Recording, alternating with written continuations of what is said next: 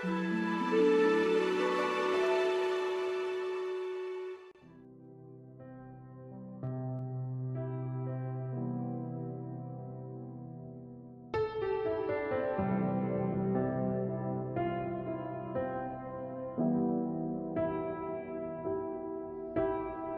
primero de Samuel, capítulo 1.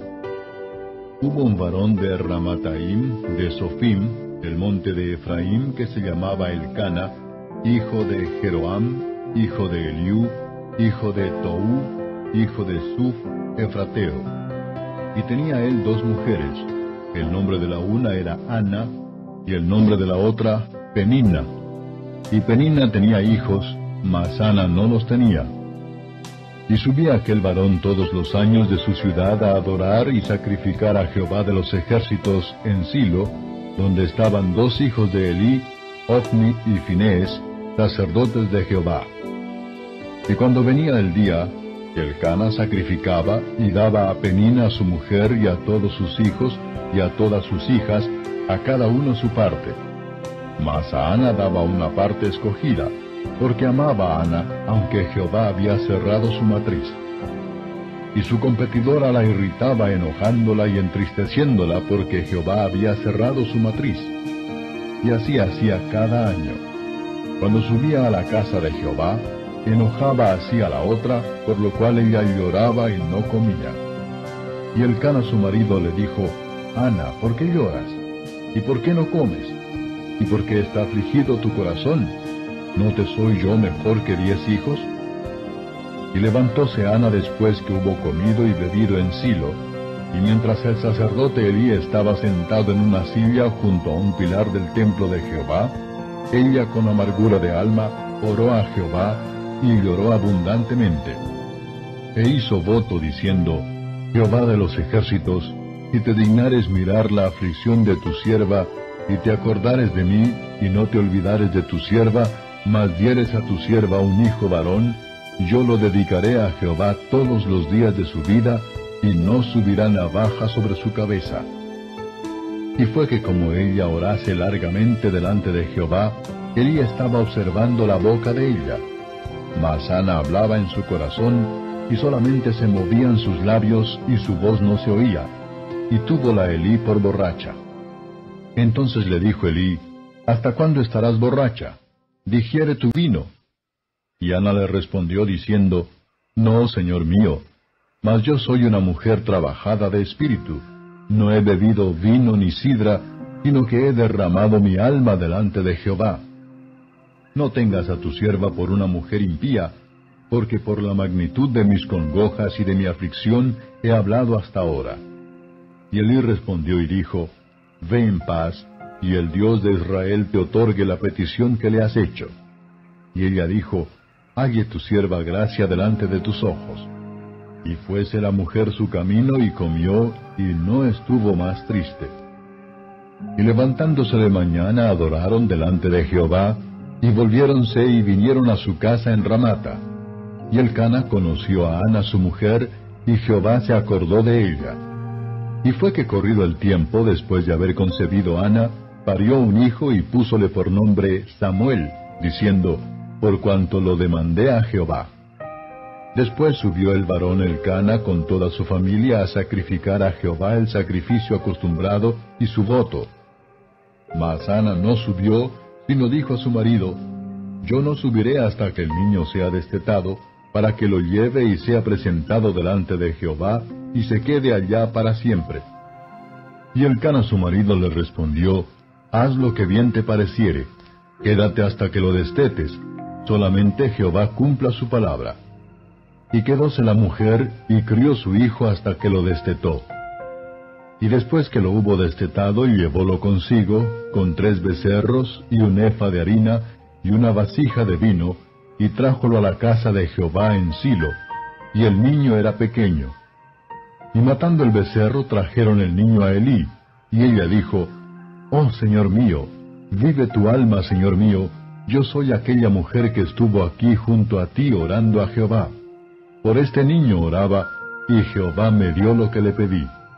Yo pues le vuelvo también a Jehová. Todos los días que viviere será de Jehová. y adoró allí a Jehová. Capítulo 2 Y Ana oró y dijo, Mi corazón se regocija en Jehová, mi cuerno es ensalzado en Jehová. Mi boca se ensanchó sobre mis enemigos, por cuanto me alegré en tu salud. No hay santo como Jehová, porque no hay ninguno fuera de ti, y no hay refugio como el Dios nuestro. No multipliquéis hablando grandezas, altanerías, cesen las palabras arrogantes de vuestra boca, porque el Dios de todo saber es Jehová, y a él toca el pesar las acciones. Los arcos de los fuertes fueron quebrados, y los flacos se ciñeron de fortaleza. Los hartos se alquilaron por pan, y cesaron los hambrientos, hasta parir siete la estéril, y la que tenía muchos hijos enfermó. Jehová mata, y él da vida. Él hace descender al sepulcro, y hace subir. Jehová empobrece, y él enriquece. Abate y ensalza. Él levanta del polvo al pobre, y al menesteroso ensalza del estiércol, para asentarlo con los príncipes y hace que tengan por heredad asiento de honra, porque de Jehová son las columnas de la tierra, y él asentó sobre ellas el mundo. Él guarda los pies de sus santos, mas los impíos perecen en tinieblas, porque nadie será fuerte por su fuerza. Delante de Jehová serán quebrantados sus adversarios, y sobre ellos tronará desde los cielos. Jehová juzgará los términos de la tierra, y dará fortaleza a su rey, y ensalzará el cuerno de su Mesías. Y el Cana se volvió a su casa en Ramata, y el niño ministraba a Jehová delante del sacerdote Elí. Mas los hijos de Elí eran hombres impíos y no tenían conocimiento de Jehová. Y la costumbre de los sacerdotes con el pueblo era que cuando alguno ofrecía sacrificio, venía el criado del sacerdote mientras la carne estaba a cocer trayendo en su mano un garfio de tres ganchos, y hería con él en la caldera, o en la olla, o en el caldero, o en el pote, y todo lo que sacaba el garfio, el sacerdote lo tomaba para sí. De esta manera hacían a todo israelita que venía a Silo. Asimismo, antes de quemar el cebo, venía el criado del sacerdote y decía al que sacrificaba, Da carne que hace para el sacerdote, porque no tomará de ti carne cocida, sino cruda. Y si le respondía el varón, quemen luego el cebo hoy, y después toma tanta como quisieres, él respondía, no, sino ahora la has de dar, de otra manera yo la tomaré por fuerza. Era pues el pecado de los mozos muy grande delante de Jehová, porque los hombres menospreciaban los sacrificios de Jehová. Y el joven Samuel ministraba delante de Jehová, vestido de un efod de lino. Y hacía de su madre una túnica pequeña, y traíasela cada año cuando subía con su marido a ofrecer el sacrificio acostumbrado. Y Elí bendijo a Elcana y a su mujer, diciendo, Jehová te dé simiente de esta mujer en lugar de esta petición que hizo a Jehová. Y volviéronse a su casa. Y visitó Jehová a Ana y concibió y parió tres hijos y dos hijas. Y el joven Samuel crecía delante de Jehová. Elí empero era muy viejo y oyó todo lo que sus hijos hacían a todo Israel y cómo dormían con las mujeres que velaban a la puerta del tabernáculo del testimonio. Y díjoles, ¿por qué hacéis cosas semejantes? Porque yo oigo de todo este pueblo vuestros malos procederes. No, hijos míos, porque no es buena fama la que yo oigo, que hacéis pecar al pueblo de Jehová. Si pecar el hombre contra el hombre, los jueces le juzgarán. Mas si alguno pecare contra Jehová, ¿quién rogará por él? Mas ellos no oyeron la voz de su padre, porque Jehová los quería matar. Y el joven Samuel iba creciendo y adelantando delante de Dios y delante de los hombres. Y vino un varón de Dios a Elí y díjole, Así ha dicho Jehová, ¿no me manifesté yo claramente a la casa de tu padre cuando estaban en Egipto en casa de Faraón? Y yo le escogí por mi sacerdote entre todas las tribus de Israel, para que ofreciese sobre mi altar y quemase perfume y trajese efod delante de mí, y di a la casa de tu padre todas las ofrendas de los hijos de Israel. ¿Por qué habéis hollado mis sacrificios y mis presentes que yo mandé ofrecer en el tabernáculo, y has honrado a tus hijos más que a mí, engordándoos de lo principal de todas las ofrendas de mi pueblo Israel? Por tanto, Jehová el Dios de Israel dice, Yo había dicho que tu casa y la casa de tu padre andarían delante de mí perpetuamente. Mas ahora ha dicho Jehová, Nunca yo tal haga, porque yo honraré a los que me honran, y los que me tuvieren en poco serán viles. He aquí vienen días en que cortaré tu brazo y el brazo de la casa de tu padre, que no haya viejo en tu casa. Y verás competidor en el tabernáculo en todas las cosas en que hiciere bien a Israel, y en ningún tiempo habrá viejo en tu casa. Y no te cortaré del todo, varón de mi altar, para hacerte marchitar tus ojos y henchir tu ánimo de dolor, mas toda la cría de tu casa morirá en la edad varonil. Y te será por señal esto que acontecerá a tus dos hijos, Ofni y Finés, ambos morirán en un día. Y yo me suscitaré un sacerdote fiel que haga conforme a mi corazón y a mi alma, y yo le edificaré casa firme y andará delante de mi ungido todos los días. Y será que el que hubiere quedado en tu casa vendrá a postrársele por un dinero de plata y un bocado de pan, diciéndole, Ruégote que me constituyas en algún ministerio para que coma un bocado de pan. Capítulo 3 Y el joven Samuel ministraba a Jehová delante de Elí, y la palabra de Jehová era de estima en aquellos días. No había visión manifiesta. Y aconteció un día que estando Elí acostado en su aposento, cuando sus ojos comenzaban a oscurecerse, que no podía ver, Samuel estaba durmiendo en el templo de Jehová donde el arca de Dios estaba. Y antes que la lámpara de Dios fuese apagada, Jehová llamó a Samuel, y él respondió, Heme aquí. Y corriendo luego a Elí dijo, Heme aquí, ¿para qué me llamaste? Y Elí le dijo, Yo no he llamado, vuélvete a acostar. Y él se volvió y acostóse. Y Jehová volvió a llamar otra vez a Samuel. Y levantándose Samuel vino a él y dijo, Heme aquí, ¿para qué me has llamado? Y él dijo, Hijo mío, yo no he llamado, vuelve y acuéstate. Y Samuel no había conocido aún a Jehová, ni la palabra de Jehová le había sido revelada. Jehová pues llamó la tercera vez a Samuel.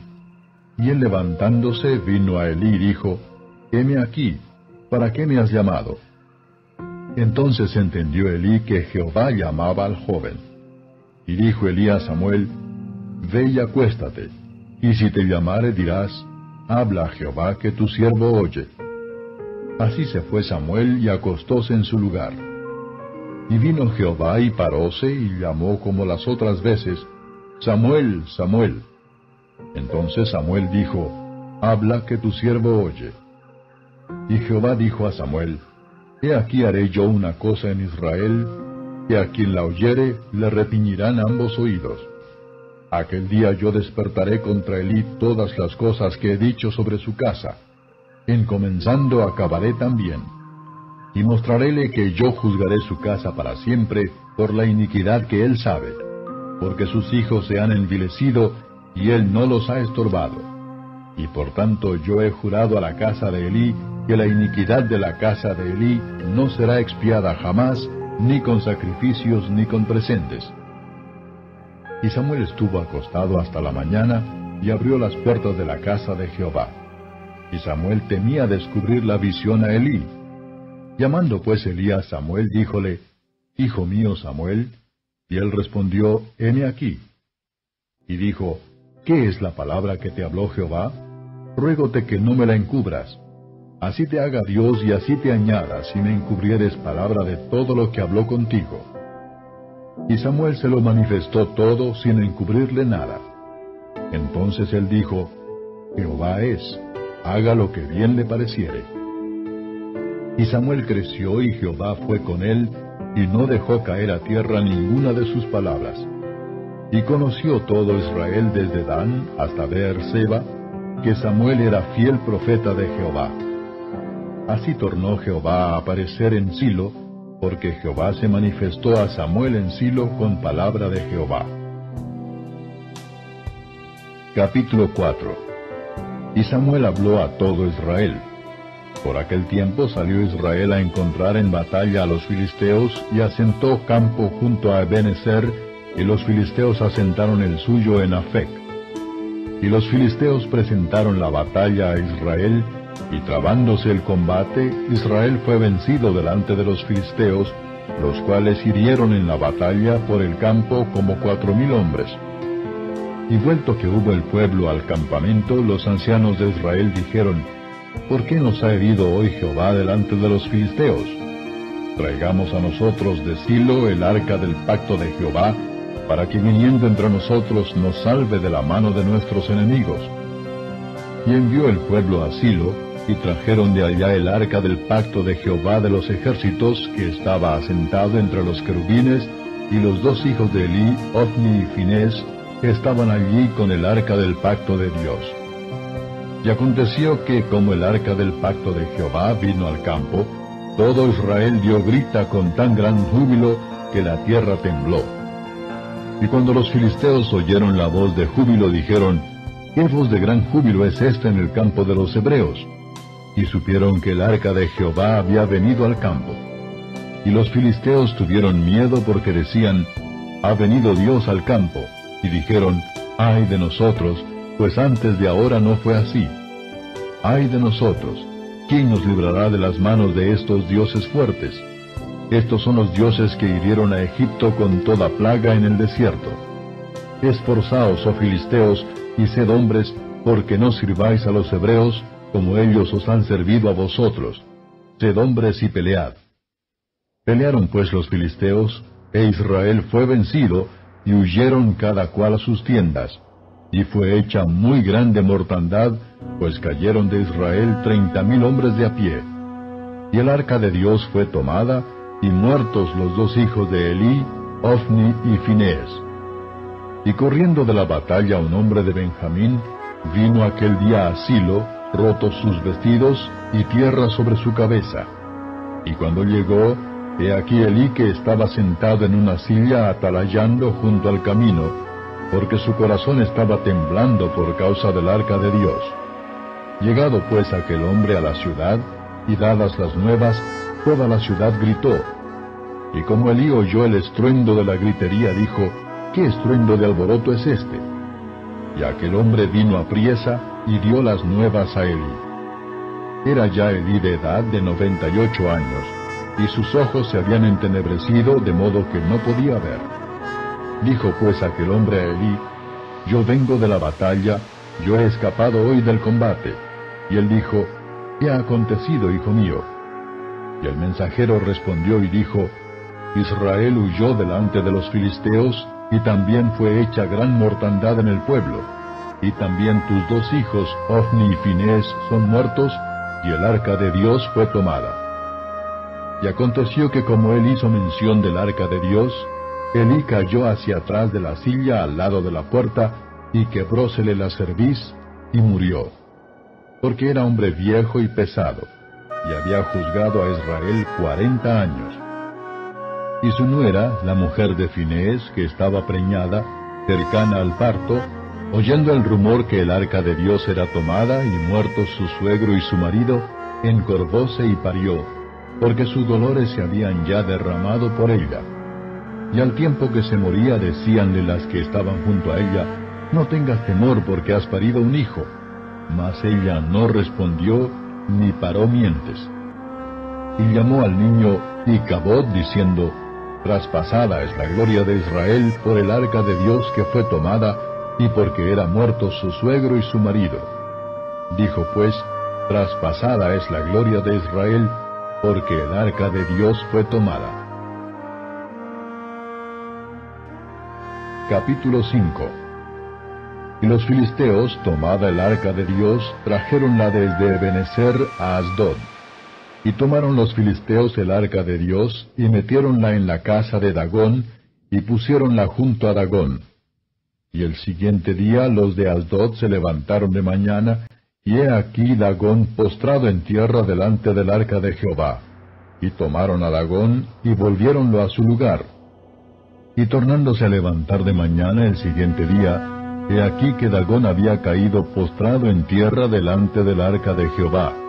y la cabeza de Dagón y las dos palmas de sus manos estaban cortadas sobre el umbral, habiéndole quedado a Dagón el tronco solamente.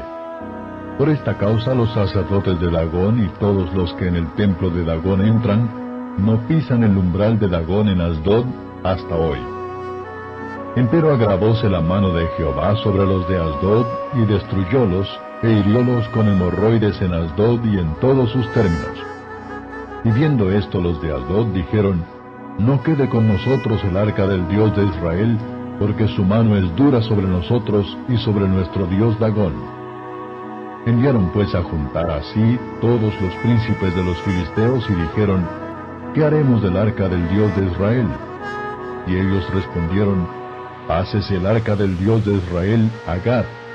Y pasaron allá el arca del Dios de Israel.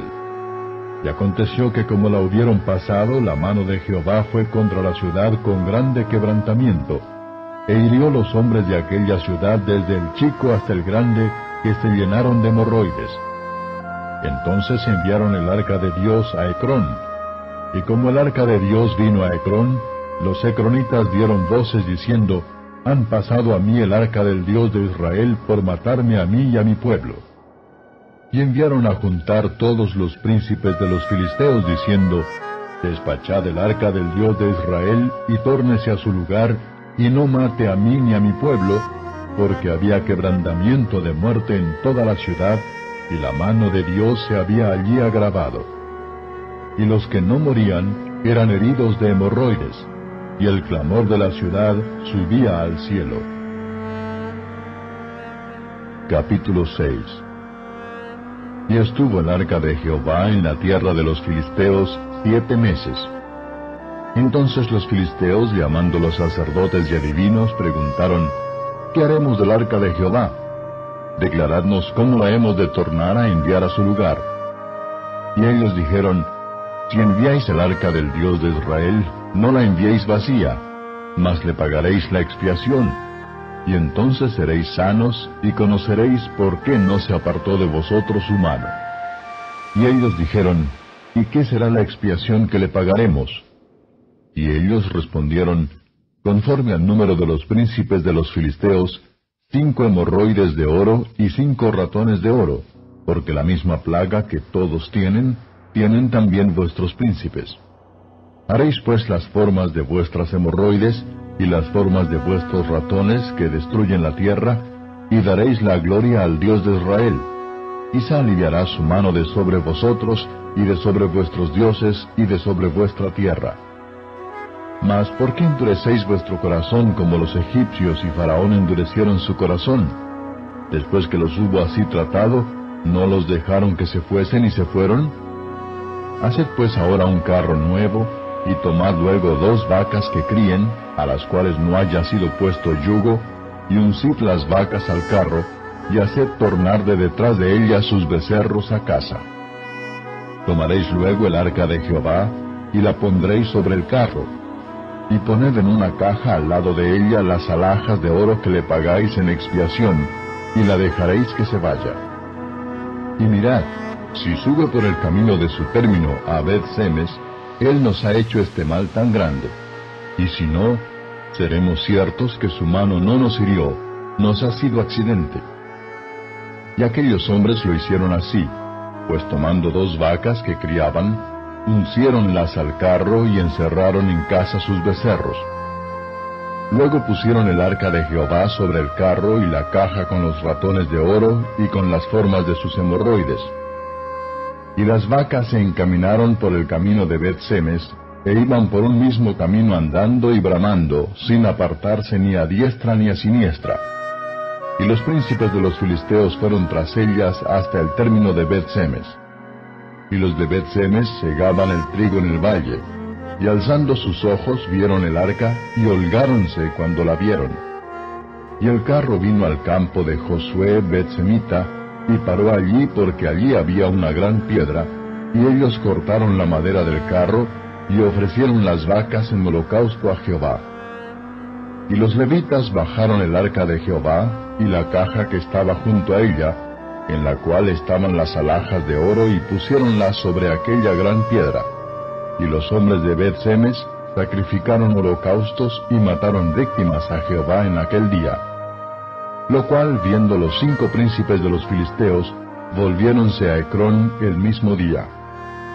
Estas pues son las hemorroides de oro que pagaron los filisteos a Jehová en expiación. Por Asdod una, por Gaza una, por Ascalón una, por Gad una, por Ecrón una. Y ratones de oro, conforme al número de todas las ciudades de los filisteos, pertenecientes a los cinco príncipes, desde las ciudades fuertes hasta las aldeas sin muro, y hasta la gran piedra sobre la cual pusieron el arca de Jehová, piedra que está en el campo de Josué Betsemita hasta hoy. Entonces hirió Dios a los de Bet-Semes, porque habían mirado en el arca de Jehová, hirió en el pueblo cincuenta mil y setenta hombres. Y el pueblo puso luto porque Jehová le había herido de tan gran plaga. Y dijeron los de Bet-Semes, ¿quién podrá estar delante de Jehová el Dios Santo? ¿Y a quién subirá desde nosotros? Y enviaron mensajeros a los de Kiriat Jearim diciendo, Los filisteos han vuelto el arca de Jehová. Descended pues y llevadla a vosotros. Capítulo 7 Y vinieron los de Kiriat Jearim y llevaron el arca de Jehová y metieronla en casa de Abinadab, situada en el collado, y santificaron a Eleazar su hijo para que guardase el arca de Jehová. Y aconteció que desde el día que llegó el arca a Kiriat Jearim pasaron muchos días, veinte años, y toda la casa de Israel lamentaba en pos de Jehová. Y habló Samuel a toda la casa de Israel diciendo, Si de todo vuestro corazón os volvéis a Jehová, quitad los dioses ajenos y a Astarot de entre vosotros, y preparad vuestro corazón a Jehová, y solo a él servid, y os librará de mano de los filisteos. Entonces los hijos de Israel quitaron a los Baales y a Astarot y sirvieron a solo Jehová. Y Samuel dijo, Juntad a todo Israel en Mizpa, y yo oraré por vosotros a Jehová. Y juntándose en Mizpa sacaron agua y derramaronla delante de Jehová, y ayunaron aquel día y dijeron allí, Contra Jehová hemos pecado. Y juzgó Samuel a los hijos de Israel en Mizpa. Y oyendo los filisteos que los hijos de Israel estaban reunidos en Mizpa, subieron los príncipes de los filisteos contra Israel, lo cual como hubieron oído a los hijos de Israel, tuvieron temor de los filisteos. Y dijeron los hijos de Israel a Samuel, No ceses de clamar por nosotros a Jehová nuestro Dios, que nos guarde de mano de los filisteos. Y Samuel tomó un cordero de leche y sacrificólo entero a Jehová en holocausto, y clamó Samuel a Jehová por Israel, y Jehová le oyó. Y aconteció que estando Samuel sacrificando el holocausto, los filisteos llegaron para pelear con los hijos de Israel. Mas Jehová tronó aquel día con grande estruendo sobre los filisteos, y desbaratólos, y fueron vencidos delante de Israel. Y saliendo los hijos de Israel de Mizpa, siguieron a los filisteos, hiriéndolos hasta abajo de Bet-car. Tomó luego Samuel una piedra y púsola entre Mispa y Sen, y púsole por nombre Ebenezer, diciendo, Hasta aquí nos ayudó Jehová. Fueron pues los filisteos humillados, que no vinieron más al término de Israel, y la mano de Jehová fue contra los filisteos todo el tiempo de Samuel. Y fueron restituidas a los hijos de Israel las ciudades que los filisteos habían tomado a los israelitas, desde Ecrón hasta Gad, con sus términos, Israel las libró de mano de los filisteos, y hubo paz entre Israel y el amorreo. Y juzgó Samuel a Israel todo el tiempo que vivió, y todos los años iba y daba vuelta a Betel y a Gilgal y a Mispa, y juzgaba a Israel en todos estos lugares. Volvíase después a Rama, porque allí estaba su casa, y allí juzgaba a Israel y edificó allí altar a Jehová. Capítulo 8 Y aconteció que habiendo Samuel envejecido, puso sus hijos por jueces sobre Israel. Y el nombre de su hijo primogénito fue Joel, y el nombre del segundo Abia. Fueron jueces en Beer-seba. Mas no anduvieron los hijos por los caminos de su padre, antes se ladearon tras la avaricia, recibiendo cohecho y pervirtiendo el derecho. Entonces todos los ancianos de Israel se juntaron y vinieron a Samuel en Rama, y dijéronle, He aquí tú has envejecido, y tus hijos no van por tus caminos. Por tanto, constitúyenos ahora un rey que nos juzgue como todas las gentes. Y descontentó a Samuel esta palabra que dijeron, Danos rey que nos juzgue. Y Samuel oró a Jehová. Y dijo Jehová a Samuel, Oye la voz del pueblo en todo lo que te dijeren, porque no te han desechado a ti, sino a mí me han desechado, para que no reine sobre ellos. Conforme a todas las obras que han hecho desde el día que los saqué de Egipto hasta hoy, que me han dejado y han servido a dioses ajenos, así hacen también contigo. Ahora pues, oye su voz, mas protesta contra ellos declarándoles el derecho del rey que ha de reinar sobre ellos. Y dijo Samuel todas las palabras de Jehová al pueblo que le había pedido rey. Dijo pues, Este será el derecho del rey que hubiere de reinar sobre vosotros Tomará vuestros hijos y pondrálos en sus carros y en su gente de a caballo, para que corran delante de su carro. Y se elegirá capitanes de mil y capitanes de cincuenta. Pondrálos asimismo a que aren sus campos y cieguen sus mieses, y a que hagan sus armas de guerra y los pertrechos de sus carros. Tomará también vuestras hijas para que sean perfumadoras, cocineras y amasadoras. Asimismo tomará vuestras tierras, vuestras viñas y vuestros buenos olivares, y los dará a sus siervos. Él diezmará vuestras simientes y vuestras viñas, para dar a sus eunucos y a sus siervos.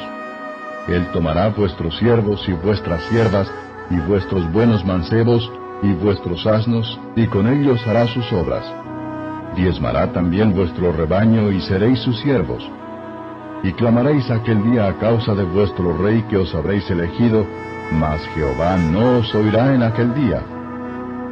Empero el pueblo no quiso oír la voz de Samuel, antes dijeron, no, sino que habrá rey sobre nosotros. Y nosotros seremos también como todas las gentes, y nuestro rey nos gobernará, y saldrá delante de nosotros, y hará nuestras guerras. Y oyó Samuel todas las palabras del pueblo, y refiriólas en oídos de Jehová. Y Jehová dijo a Samuel, oye su voz y pon rey sobre ellos. Entonces dijo Samuel a los varones de Israel, Idos cada uno a su ciudad. Capítulo 9 Y había un varón de Benjamín, hombre valeroso, el cual se llamaba Cis, hijo de Abiel, hijo de Seor, hijo de Becora, hijo de Afia, hijo de un hombre de Benjamín. Y tenía él un hijo que se llamaba Saúl, mancebo y hermoso, que entre los hijos de Israel no había otro más hermoso que él. Del hombro arriba sobrepujaba a cualquiera del pueblo. Y habíanse perdido las asnas de Cis, padre de Saúl, por lo que dijo Cis a Saúl su hijo, Toma ahora contigo alguno de los criados, y levántate y ve a buscar las asnas. Y él pasó al monte de Efraín, y de allí a la tierra de Salisa, y no las hallaron. Pasaron luego por la tierra de Saalim, y tampoco. Después pasaron por la tierra de Benjamín, y no las encontraron.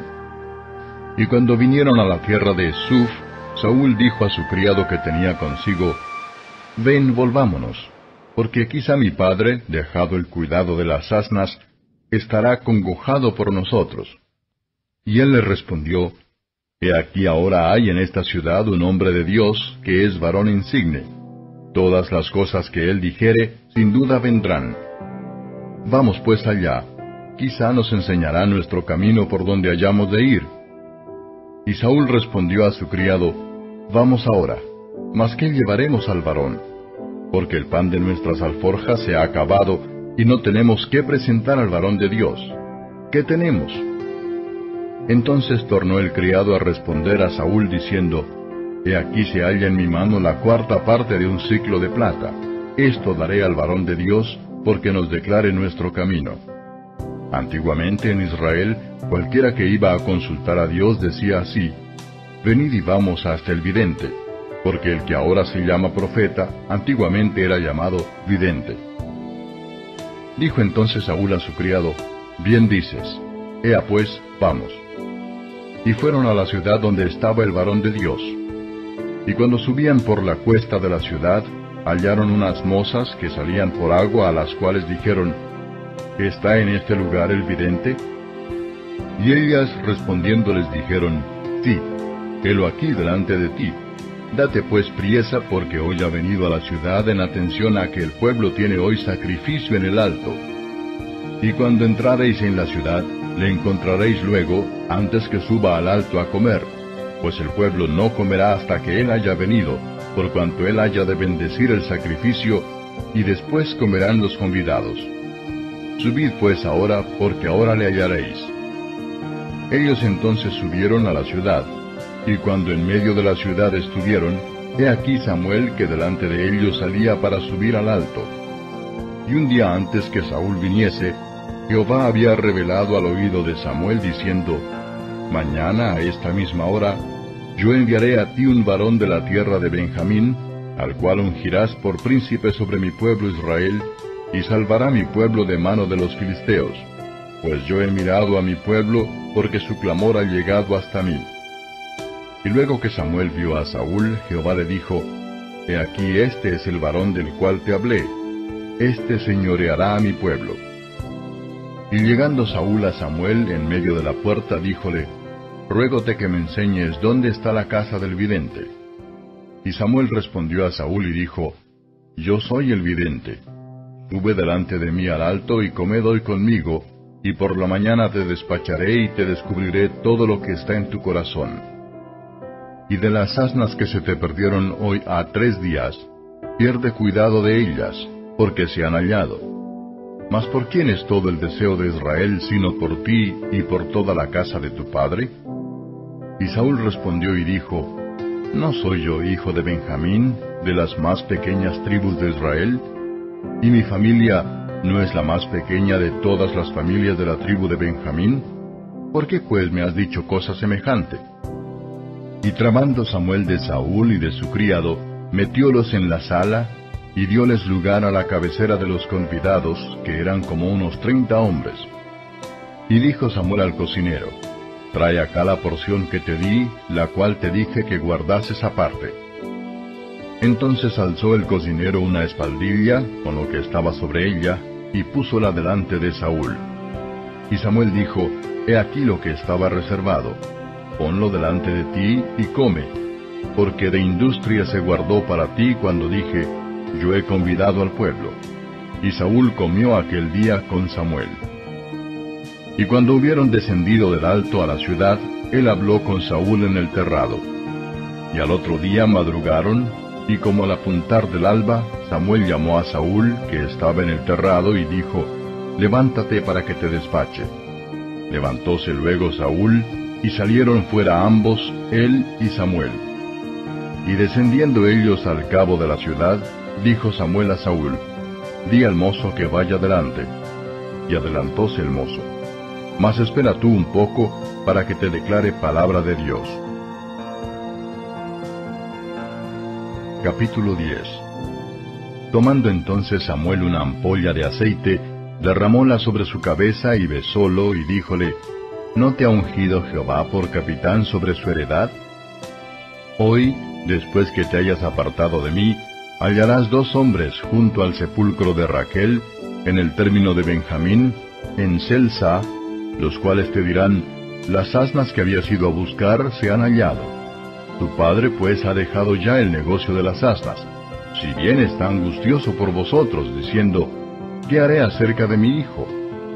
Y como de allí te fueres más adelante, y llegares a la campiña de Tabor, te saldrán al encuentro tres hombres que suben a Dios en Betel, llevando el uno tres cabritos y el otro tres tortas de pan, y el tercero una vasija de vino los cuales, luego que te hayan saludado, te darán dos panes, los que tomarás de manos de ellos. De allí vendrás al collado de Dios donde está la guarnición de los filisteos, y cuando entrares allá en la ciudad encontrarás una compañía de profetas que descienden del alto, y delante de ellos salterio y adufe y flauta y arpa, y ellos profetizando. Y el Espíritu de Jehová te arrebatará, y profetizarás con ellos, y serás mudado en otro hombre. Y cuando te hubieren sobrevenido estas señales, haz lo que te viniere a la mano, porque Dios es contigo. Y bajarás delante de mí a Gilgal, y luego descenderé yo a ti para sacrificar holocaustos e inmolar víctimas pacíficas. Espera siete días, hasta que yo venga a ti, y te enseñe lo que has de hacer. Y fue que así como tornó él su hombro para partirse de Samuel, mudóle Dios su corazón, y todas estas señales acaecieron en aquel día. Y cuando llegaron allá al collado, he aquí la compañía de los profetas que venía a encontrarse con él, y el Espíritu de Dios lo arrebató, y profetizó entre ellos. Y aconteció que cuando todos los que le conocían de ayer y de antes vieron cómo profetizaba con los profetas, el pueblo decía el uno al otro, ¿qué ha sucedido al hijo de Cis? ¿Saúl también entre los profetas? Y alguno de allí respondió y dijo, ¿y quién es el padre de ellos? Por esta causa se tornó en proverbio, ¿también Saúl entre los profetas? Y cesó de profetizar y llegó al alto. Y un tío de Saúl dijo a él y a su criado, ¿Dónde fuisteis? Y él respondió, A buscar las asnas. Y como vimos que no parecían, fuimos a Samuel. Y dijo el tío de Saúl, Yo te ruego me declares qué os dijo Samuel. Y Saúl respondió a su tío, Declarónos expresamente que las asnas habían parecido. Mas del negocio del reino de que Samuel le había hablado, no le descubrió nada. Y Samuel convocó el pueblo a Jehová en Mizpa, y dijo a los hijos de Israel, Así ha dicho Jehová el Dios de Israel, Yo saqué a Israel de Egipto, y os libré de mano de los egipcios, y de mano de todos los reinos que os afligieron. Mas vosotros habéis desechado hoy a vuestro Dios, que os guarda de todas vuestras aflicciones y angustias, y dijisteis, No, sino pon rey sobre nosotros. Ahora pues, Poneos delante de Jehová por vuestras tribus y por vuestros millares. Y haciendo llegar Samuel todas las tribus de Israel, fue tomada la tribu de Benjamín. E hizo llegar la tribu de Benjamín por sus linajes, y fue tomada la familia de Matri. Y de ella fue tomado Saúl, hijo de Cis. Y le buscaron, mas no fue hallado. Preguntaron pues otra vez a Jehová, había aún de venir allí aquel varón. Y respondió Jehová, He aquí que él está escondido entre el bagaje.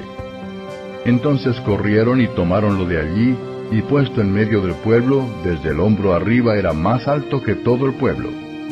Y Samuel dijo a todo el pueblo, ¿Habéis visto al que ha elegido Jehová, que no hay semejante a él en todo el pueblo? Entonces el pueblo clamó con alegría diciendo, Viva el rey. Samuel recitó luego al pueblo el derecho del reino y escribiólo en un libro, el cual guardó delante de Jehová. Y envió Samuel a todo el pueblo cada uno a su casa.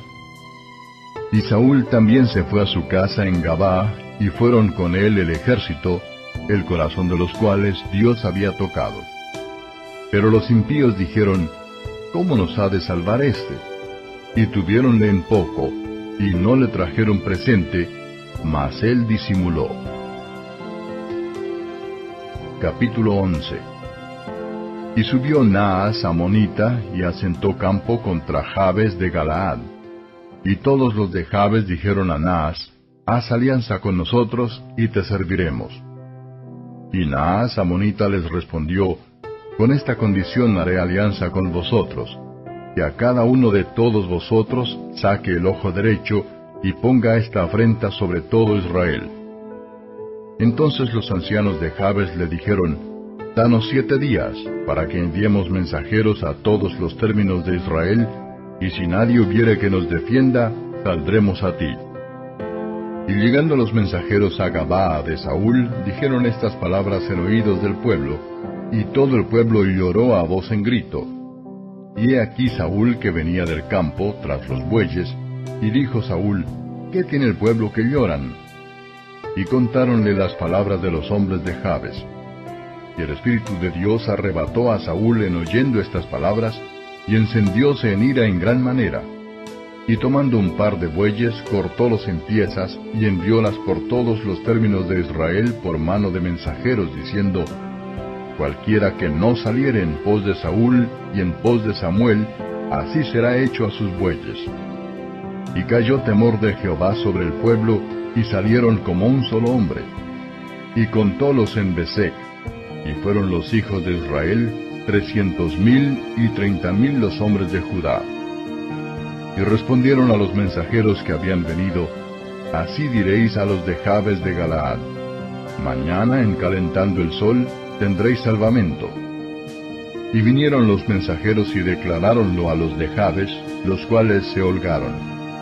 Y los de Jabes dijeron, Mañana saldremos a vosotros, para que hagáis con nosotros todo lo que bien os pareciere. Y el día siguiente dispuso Saúl el pueblo en tres escuadrones, y entraron en medio del real a la vela de la mañana, e hirieron a los amonitas hasta que el día calentaba. Y los que quedaron fueron dispersos, tal que no quedaron dos de ellos juntos. El pueblo entonces dijo a Samuel, ¿quiénes son los que decían, ¿reinará Saúl sobre nosotros? Dadnos esos hombres y los mataremos. Y Saúl dijo, No morirá hoy ninguno, porque hoy ha obrado Jehová salud en Israel. Mas Samuel dijo al pueblo, Venid, vamos a Gilgal para que renovemos allí el reino.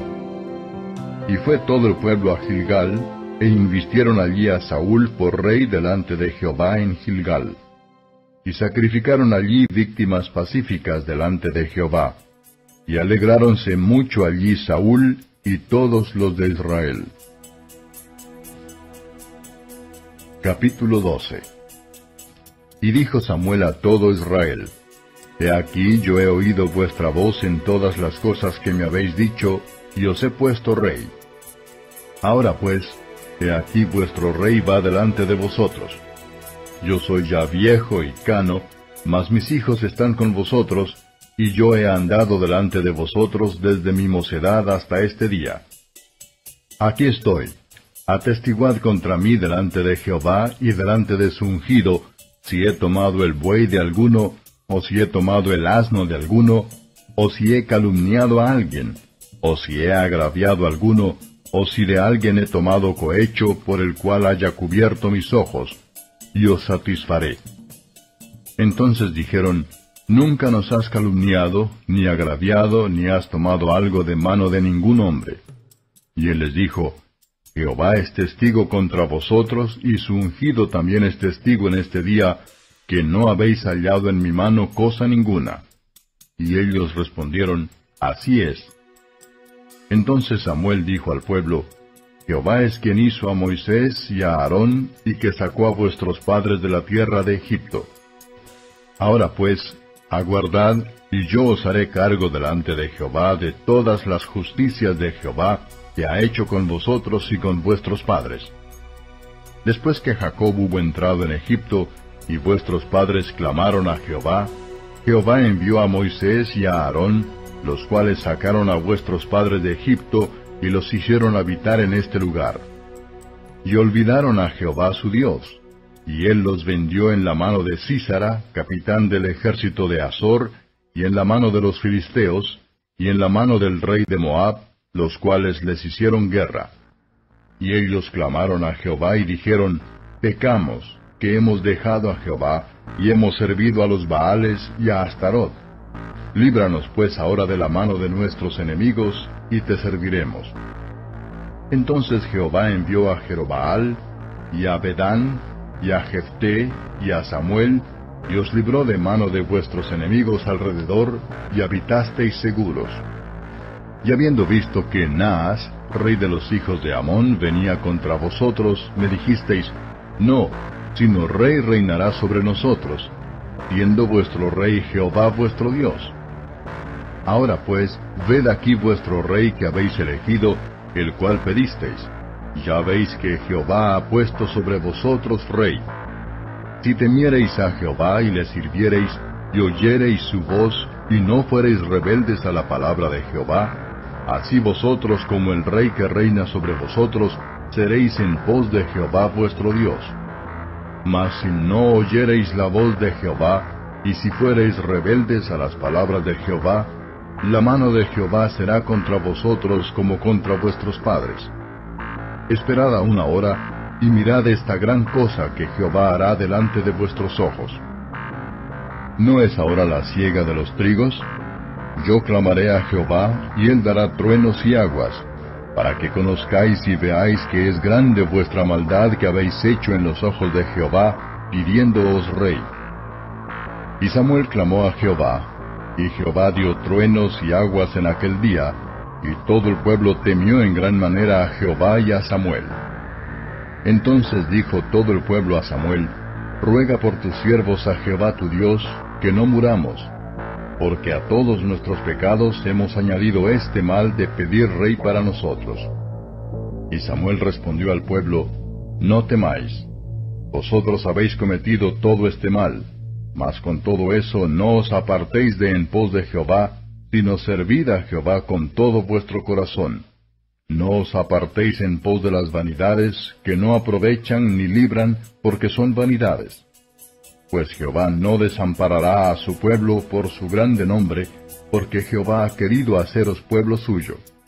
Así que, lejos sea de mí que peque yo contra Jehová, cesando de rogar por vosotros. Antes yo os enseñaré por el camino bueno y derecho.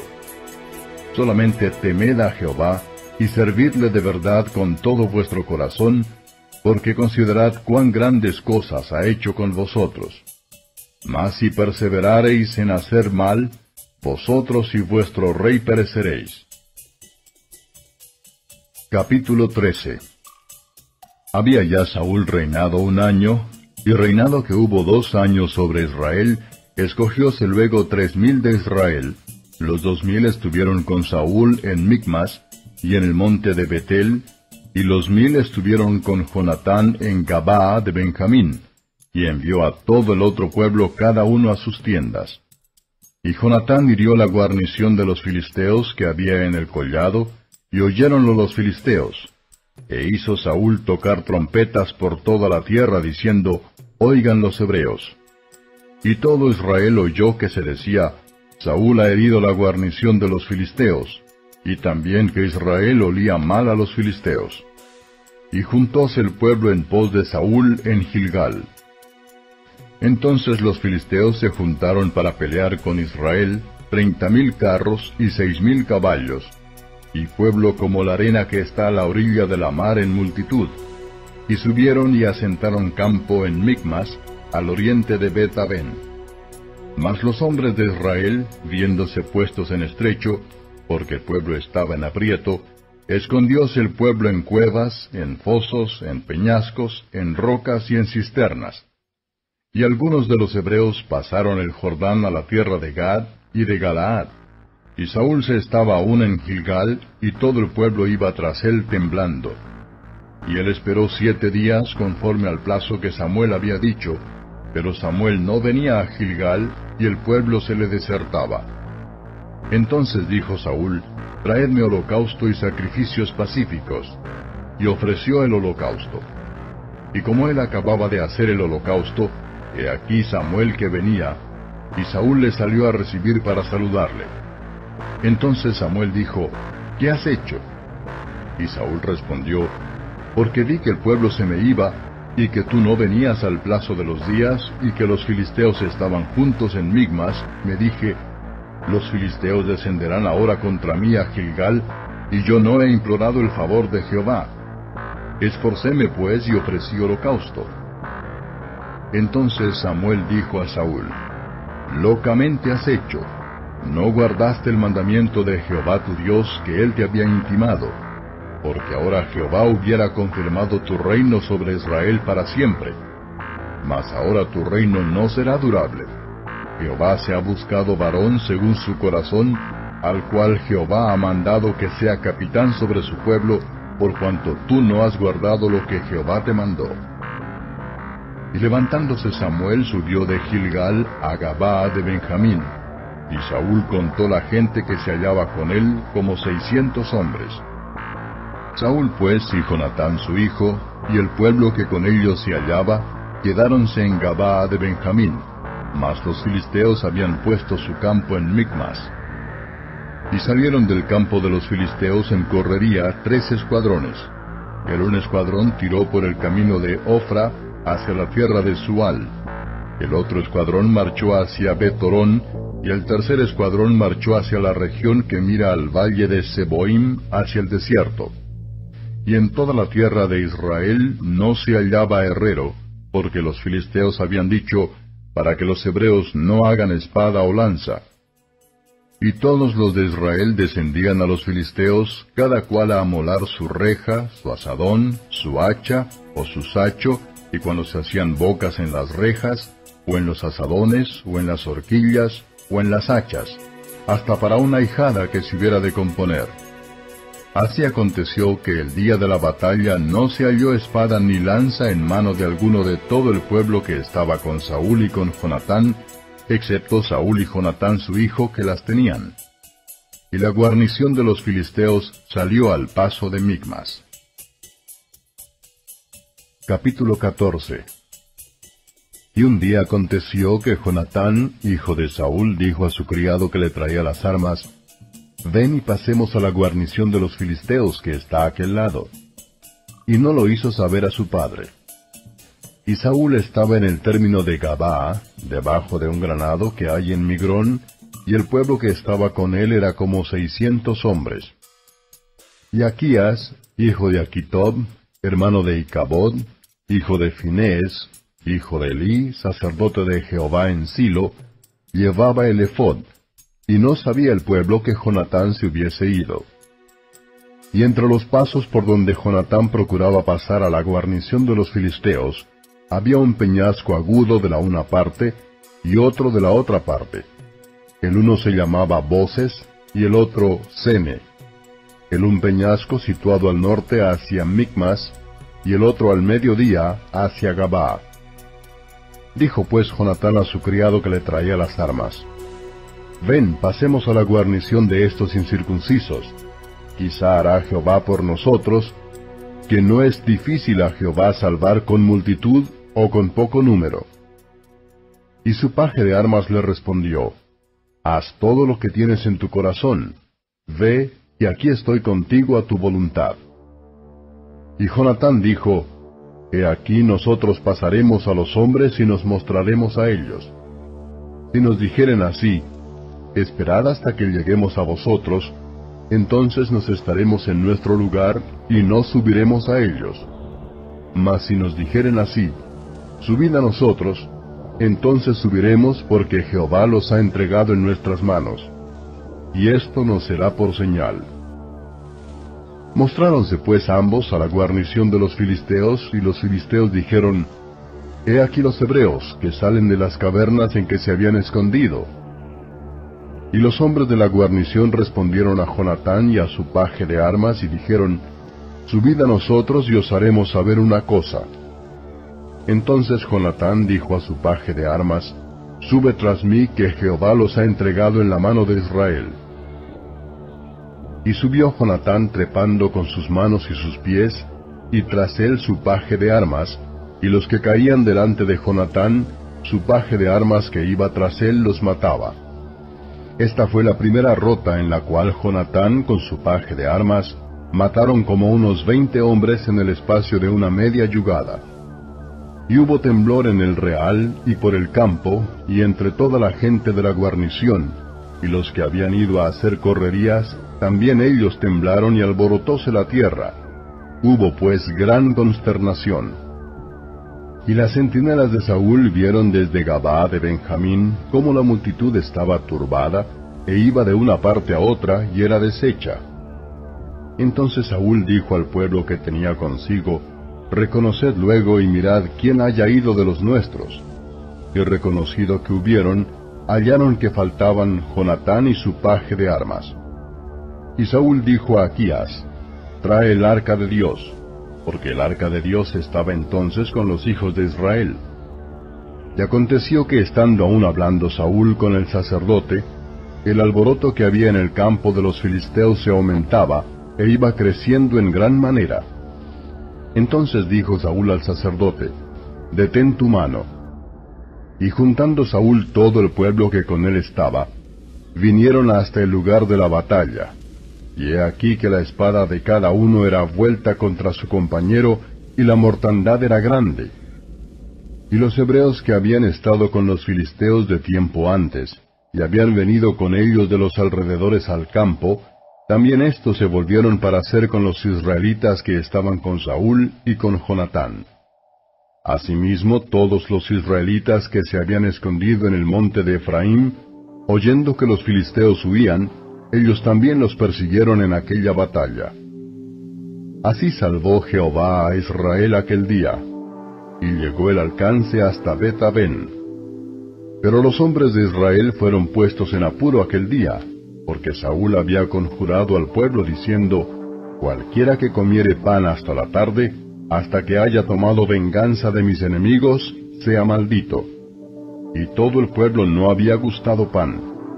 Y todo el pueblo del país llegó a un bosque donde había miel en la superficie del campo. Entró pues el pueblo en el bosque, y he aquí que la miel corría, mas ninguno hubo que llegase la mano a su boca, porque el pueblo temía el juramento.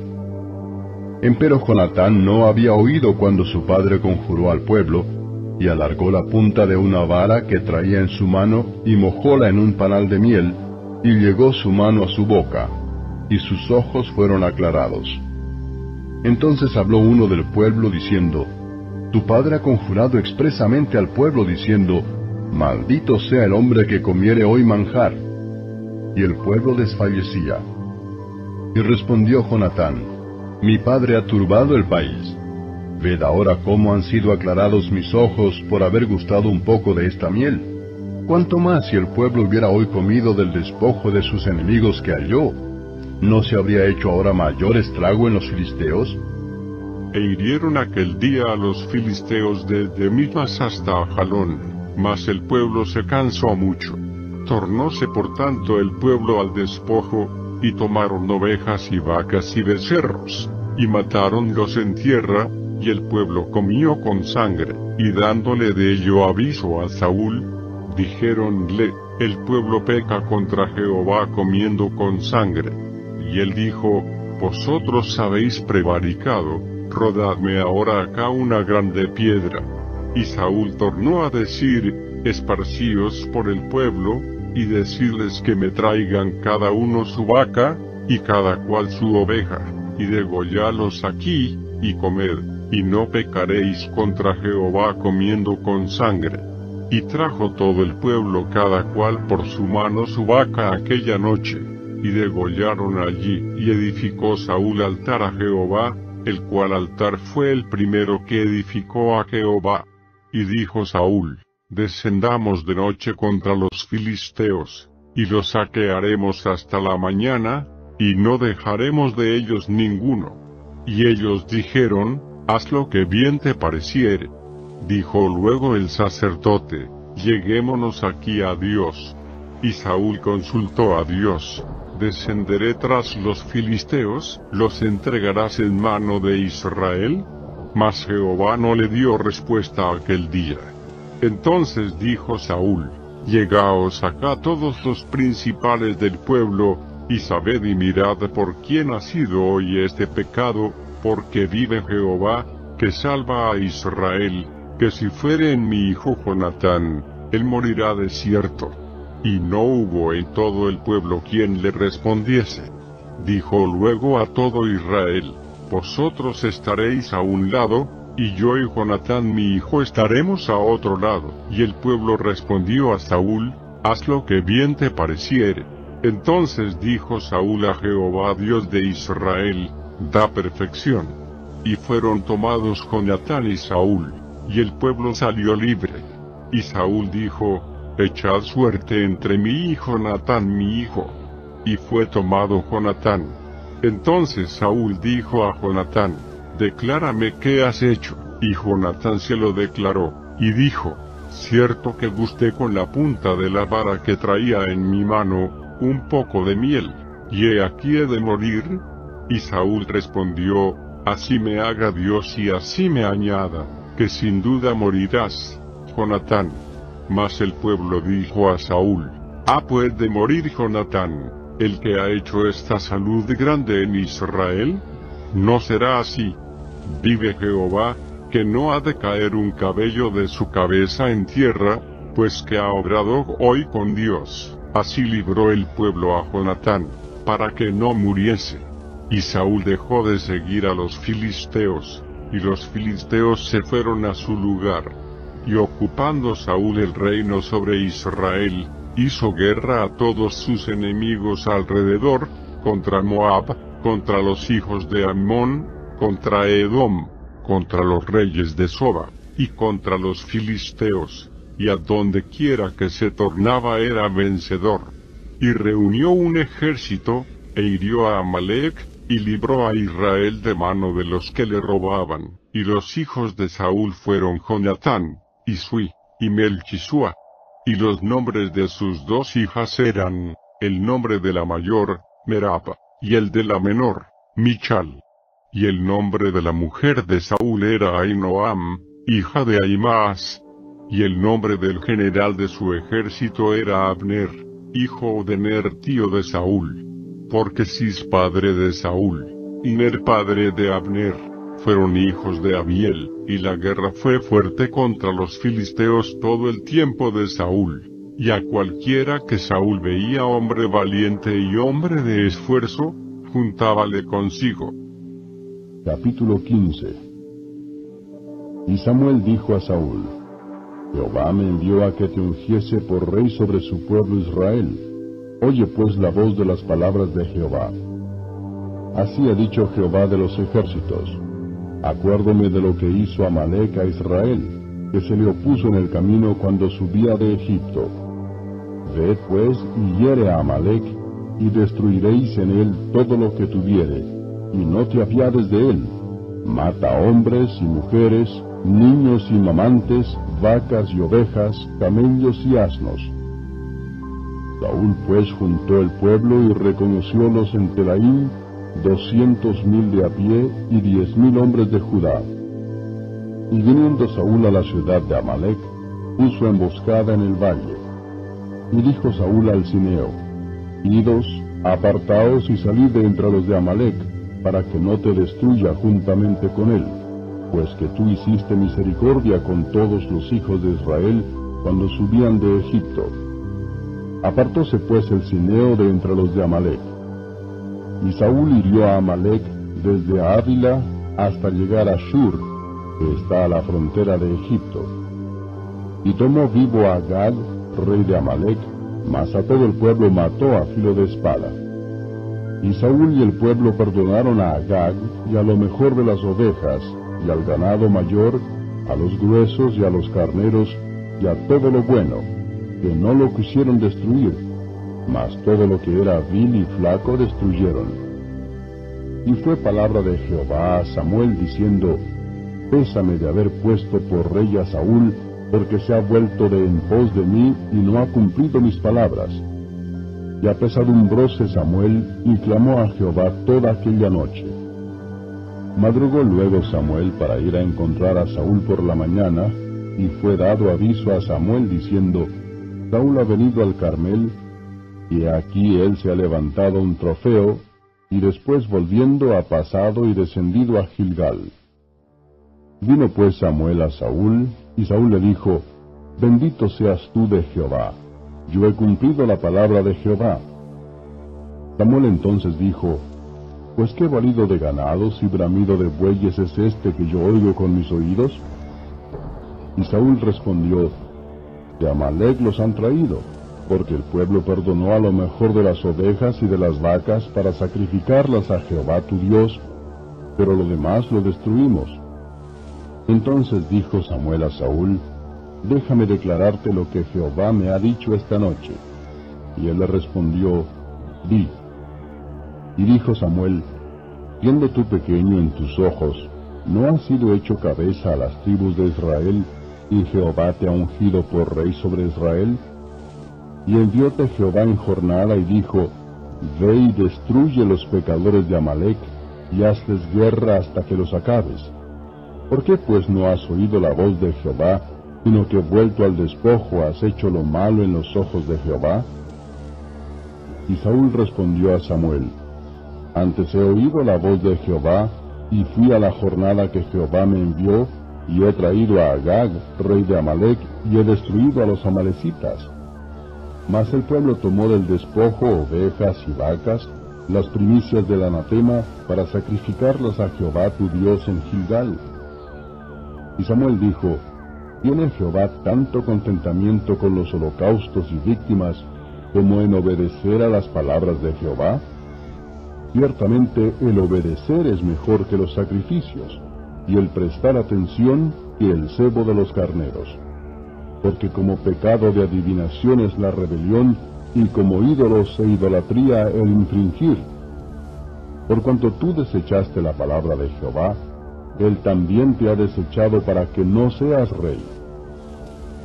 Entonces Saúl dijo a Samuel, Yo he pecado, que he quebrantado el dicho de Jehová y tus palabras, porque temía al pueblo, consentí a la voz de ellos. Perdona pues ahora mi pecado, y vuelve conmigo para que adore a Jehová. Y Samuel respondió a Saúl, No volveré contigo, porque desechaste la palabra de Jehová, y Jehová te ha desechado para que no seas rey sobre Israel. Y volviéndose Samuel para irse, él echó mano de la orla de su capa y desgarróse. Entonces Samuel le dijo, Jehová ha desgarrado hoy de ti el reino de Israel, y lo ha dado a tu prójimo mejor que tú. Y también el vencedor de Israel no mentirá ni se arrepentirá, porque no es hombre para que se arrepienta. Y él dijo, Yo he pecado, mas ruégote que me honres delante de los ancianos de mi pueblo y delante de Israel, y vuelve conmigo para que adore a Jehová tu Dios. Y volvió Samuel tras Saúl, y adoró Saúl a Jehová. Después dijo Samuel, Traedme a Agag, rey de Amalek. Y Agag vino a él delicadamente, y dijo Agag, Ciertamente se pasó la amargura de la muerte. Y Samuel dijo, Como tu espada dejó las mujeres sin hijos, así tu madre será sin hijo entre las mujeres. Entonces Samuel cortó en pedazos a Agag delante de Jehová en Gilgal. Fuese luego Samuel a Rama, y Saúl subió a su casa en Gabá de Saúl. Y nunca después vio Samuel a Saúl en toda su vida. Y Samuel lloraba a Saúl, mas Jehová se había arrepentido de haber puesto a Saúl por rey sobre Israel. Capítulo 16 Y dijo Jehová a Samuel, ¿Hasta cuándo has tú de llorar a Saúl habiéndolo yo desechado para que no reine sobre Israel? Hinche tu cuerno de aceite y ven, te enviaré a Isaí de Betlehem, porque de sus hijos me he provisto de rey. Y dijo Samuel, ¿cómo iré? Si Saúl lo entendiere, me matará. Jehová respondió, Toma contigo una becerra de la vacada y di, a sacrificar a Jehová he venido. Y llama a Isaí al sacrificio, y yo te enseñaré lo que has de hacer, y ungirme has al que yo te dijere. Hizo pues Samuel como le dijo Jehová, y luego que él llegó a Betlehem, los ancianos de la ciudad le salieron a recibir con miedo y dijeron, ¿Es pacífica tu venida? Y él respondió, Sí, vengo a sacrificar a Jehová. Santificaos y venid conmigo al sacrificio y santificando él a Isaí y a sus hijos, llamólos al sacrificio. Y aconteció que como ellos vinieron, él vio a Eliab y dijo, De cierto, delante de Jehová está su ungido. Y Jehová respondió a Samuel, No mires a su parecer ni a lo grande de su estatura, porque yo lo desecho. Porque Jehová mira no lo que el hombre mira, pues que el hombre mira lo que está delante de sus ojos mas Jehová mira el corazón. Entonces llamó Isaí a Abinadab, e hízole pasar delante de Samuel, el cual dijo, Ni a éste ha elegido Jehová. Hizo luego pasar Isaí a Samma, y él dijo, tampoco a éste ha elegido Jehová. E hizo pasar Isaí sus siete hijos delante de Samuel. Mas Samuel dijo a Isaí, Jehová no ha elegido a estos. Entonces dijo Samuel a Isaí, ¿hanse acabado los mozos? Y él respondió, aún queda el menor que apacienta las ovejas. Y dijo Samuel a Isaí, envía por él, porque no nos asentaremos a la mesa hasta que él venga aquí. Envió pues por él e introdújolo, el cual era rubio, de hermoso parecer y de bello aspecto. Entonces Jehová dijo, Levántate y úngelo, que éste es. Y Samuel tomó el cuerno del aceite y ungiólo de entre sus hermanos, y desde aquel día en adelante el Espíritu de Jehová tomó a David. Levantóse luego Samuel y volvióse a Rama. Y el Espíritu de Jehová se apartó de Saúl y atormentábale el espíritu malo de parte de Jehová. Y los criados de Saúl le dijeron, He aquí ahora que el espíritu malo de parte de Dios te atormenta. Diga pues nuestro Señor a tus siervos que están delante de ti, que busquen alguno que sepa tocar el arpa, para que cuando fuere sobre ti el espíritu malo de parte de Dios, él taña con su mano y tengas alivio. Y Saúl respondió a sus criados, Buscadme pues ahora alguno que taña bien y traédmelo. Entonces uno de los criados respondió diciendo, He aquí yo he visto a un hijo de Isaí de Betlehem que sabe tocar, y es valiente y vigoroso, y hombre de guerra, prudente en sus palabras, y hermoso, y Jehová es con él. Y Saúl envió mensajeros a Isaí diciendo, Envíame a David tu hijo, el que está con las ovejas. Y tomó Isaí un asno cargado de pan y una vasija de vino y un cabrito, y envióle a Saúl por mano de David su hijo. Y viniendo David a Saúl, estuvo delante de él, y amólo él mucho, y fue hecho su escudero. Y Saúl envió a decir a Isaí, Yo te ruego que esté David conmigo, porque ha hallado gracia en mis ojos. Y cuando el espíritu malo de parte de Dios era sobre Saúl, David tomaba el arpa y tañía con su mano, y Saúl tenía refrigerio y estaba mejor, y el espíritu malo se apartaba de él. Capítulo 17 Y los filisteos juntaron sus ejércitos para la guerra, y congregáronse en Soco, que es de Judá, y asentaron el campo entre Soco y Aseca, en Efes Y también Saúl y los hombres de Israel se juntaron y asentaron el campo en el valle del Alcornoque, y ordenaron la batalla contra los filisteos. Y los filisteos estaban sobre el un monte de la una parte, e Israel estaba sobre el otro monte de la otra parte, y el valle entre ellos. Salió entonces un varón del campo de los filisteos que se puso entre los dos campos, el cual se llamaba Goliath de Gad, y tenía de altura seis codos y un palmo. Y traía un almete de acero en su cabeza, e iba vestido con corazas de planchas, y era el peso de la coraza cinco mil ciclos de metal. Y sobre sus piernas traía grebas de hierro, y escudo de acero a sus hombros. El asta de su lanza era como un enjulio de telar, y tenía el hierro de su lanza seiscientos ciclos de hierro, e iba su escudero delante de él. Y paróse y dio voces a los escuadrones de Israel, diciéndoles, ¿Para qué salís a dar batalla? ¿No soy yo el filisteo y vosotros los siervos de Saúl? Escoged entre vosotros un hombre que venga contra mí. Si él pudiere pelear conmigo y me venciere, nosotros seremos vuestros siervos. Y si yo pudiere más que él y lo venciere, vosotros seréis nuestros siervos y nos serviréis. Y añadió el filisteo, Hoy yo he desafiado el campo de Israel dadme un hombre que pelee conmigo. Y oyendo Saúl y todo Israel estas palabras del filisteo, conturbáronse y tuvieron gran miedo.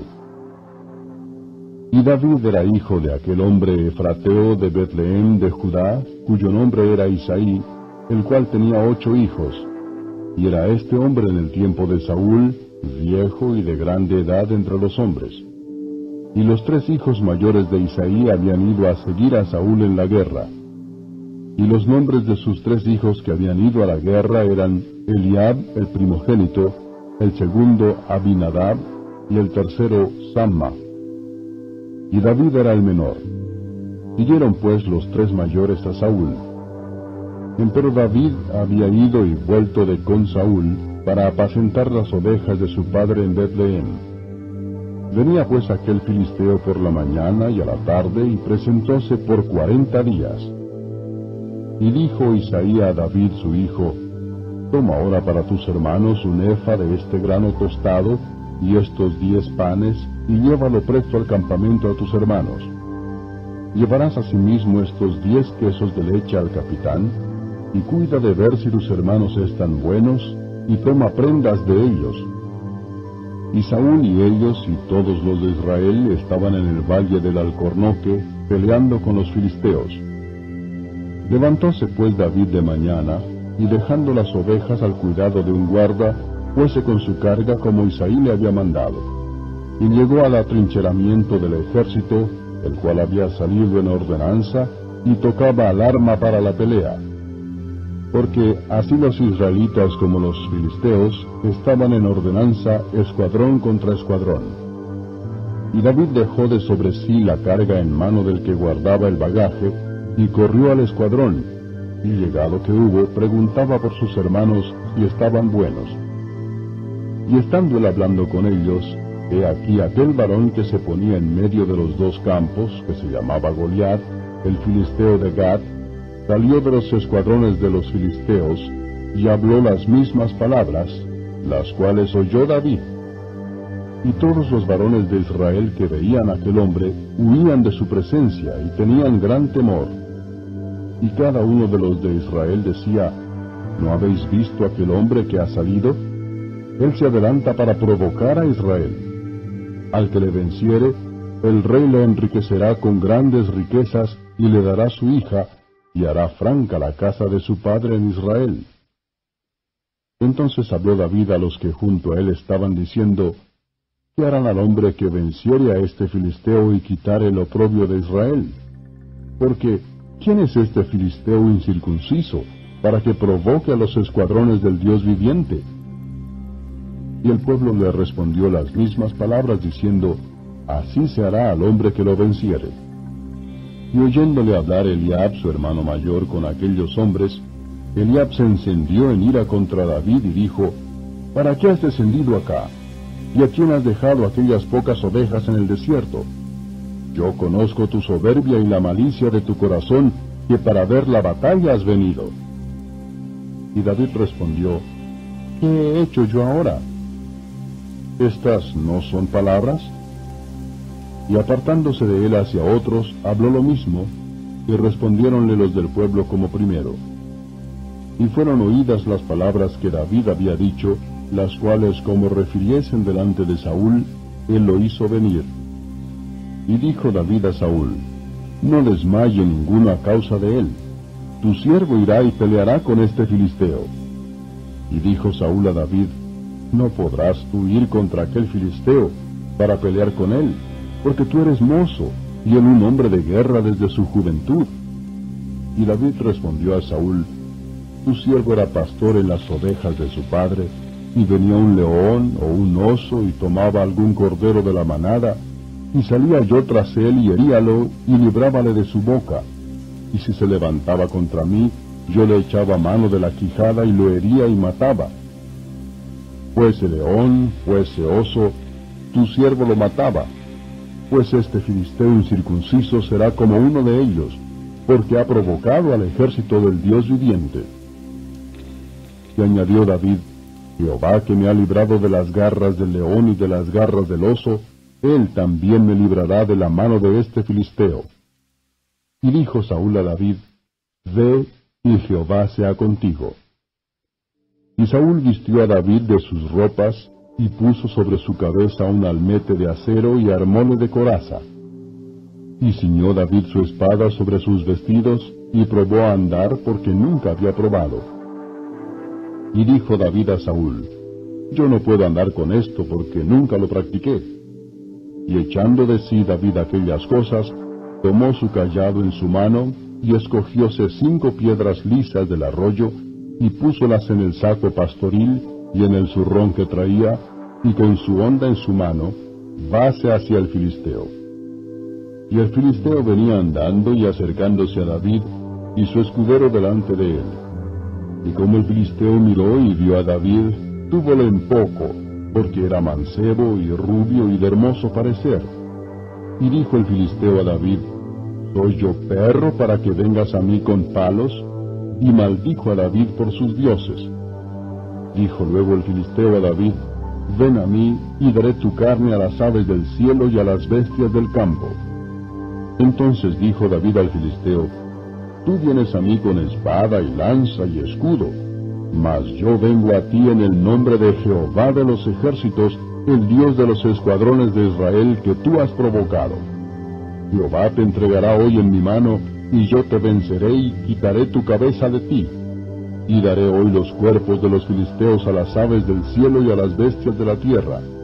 Y sabrá la tierra toda que hay Dios en Israel.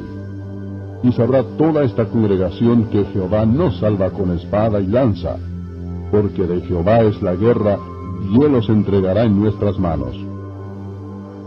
Y aconteció que como el filisteo se levantó para ir y llegarse contra David, David se dio priesa y corrió al combate contra el filisteo. Y metiendo David su mano en el saco, tomó de allí una piedra y tirósela con la honda, e hirió al filisteo en la frente. Y la piedra quedó hincada en la frente y cayó en tierra sobre su rostro. Así venció David al filisteo con honda y piedra, e hirió al filisteo y matólo, sin tener David espada en su mano. Mas corrió David y púsose sobre el filisteo, y tomando la espada de él, sacándola de su vaina, matólo, y cortóle con ella la cabeza. Y como los filisteos vieron su gigante muerto, huyeron. Y levantándose los de Israel y de Judá, dieron grita y siguieron a los filisteos hasta llegar al valle y hasta las puertas de Cron. Y cayeron heridos de los filisteos por el camino de Saraim hasta Gad y Ecrón. Tornando luego los filisteos de Israel de seguir los filisteos, despojaron su campamento, y David tomó la cabeza del filisteo y trájola a Jerusalén, mas puso sus armas en su tienda. Y cuando Saúl vio a David, que salía a encontrarse con el filisteo, dijo a Abner, general del ejército, Abner, ¿de quién es hijo aquel mancebo? Y Abner respondió, Vive tu alma, oh rey, que no lo sé. Y el rey dijo, Pregunta, pues, ¿de quién es hijo aquel mancebo? Y cuando David volvía de matar al filisteo, Abner lo tomó y llevólo delante de Saúl, teniendo la cabeza del filisteo en su mano. Y díjole Saúl, Mancebo, ¿de quién eres hijo? Y David respondió, Yo soy hijo de tu siervo Isaí de Berleén. Capítulo 18 Y así que él hubo acabado de hablar con Saúl, el alma de Jonatán fue ligada con la de David, y amólo Jonatán como a su alma. Y Saúl le tomó aquel día, y no le dejó volver a casa de su padre. E hicieron alianza Jonatán y David, porque él le amaba como a su alma. Y Jonatán se desnudó la ropa que tenía sobre sí, y dióla a David, y otras ropas suyas, hasta su espada y su arco y su talabarte. Y salía David a donde quiera que Saúl le enviaba, y portábase prudentemente y solo por tanto Saúl capitán de gente de guerra, y era acepto en los ojos de todo el pueblo, y en los ojos de los criados de Saúl. Y aconteció que como volvían ellos, cuando David tornó de matar al filisteo, salieron las mujeres de todas las ciudades de Israel cantando y con danzas, con tamboriles y con alegrías y sonajas, a recibir al rey Saúl. Y cantaban las mujeres que danzaban y decían, Saúl hirió sus miles y David sus diez miles.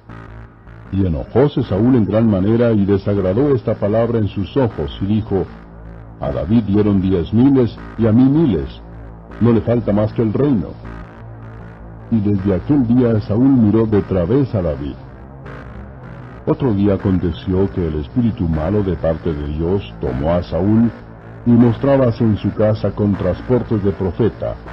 Y David tañía con su mano como los otros días, y estaba una lanza a mano de Saúl. Y arrojó Saúl la lanza diciendo, Enclavaré a David en la pared. Y dos veces se apartó de él David. Mas Saúl se temía de David por cuanto Jehová era con él y se había apartado de Saúl. Apartólo pues Saúl de sí e hízole capitán de mí, y salía y entraba delante del pueblo. Y David se conducía prudentemente en todos sus negocios, y Jehová era con él. Y viendo Saúl que se portaba tan prudentemente, temíase de él. Mas todo Israel y Judá amaba a David, porque él salía y entraba delante de ellos. Y dijo Saúl a David, He aquí yo te daré a Merab mi hija mayor por mujer, solamente que me seas hombre valiente y hagas las guerras de Jehová.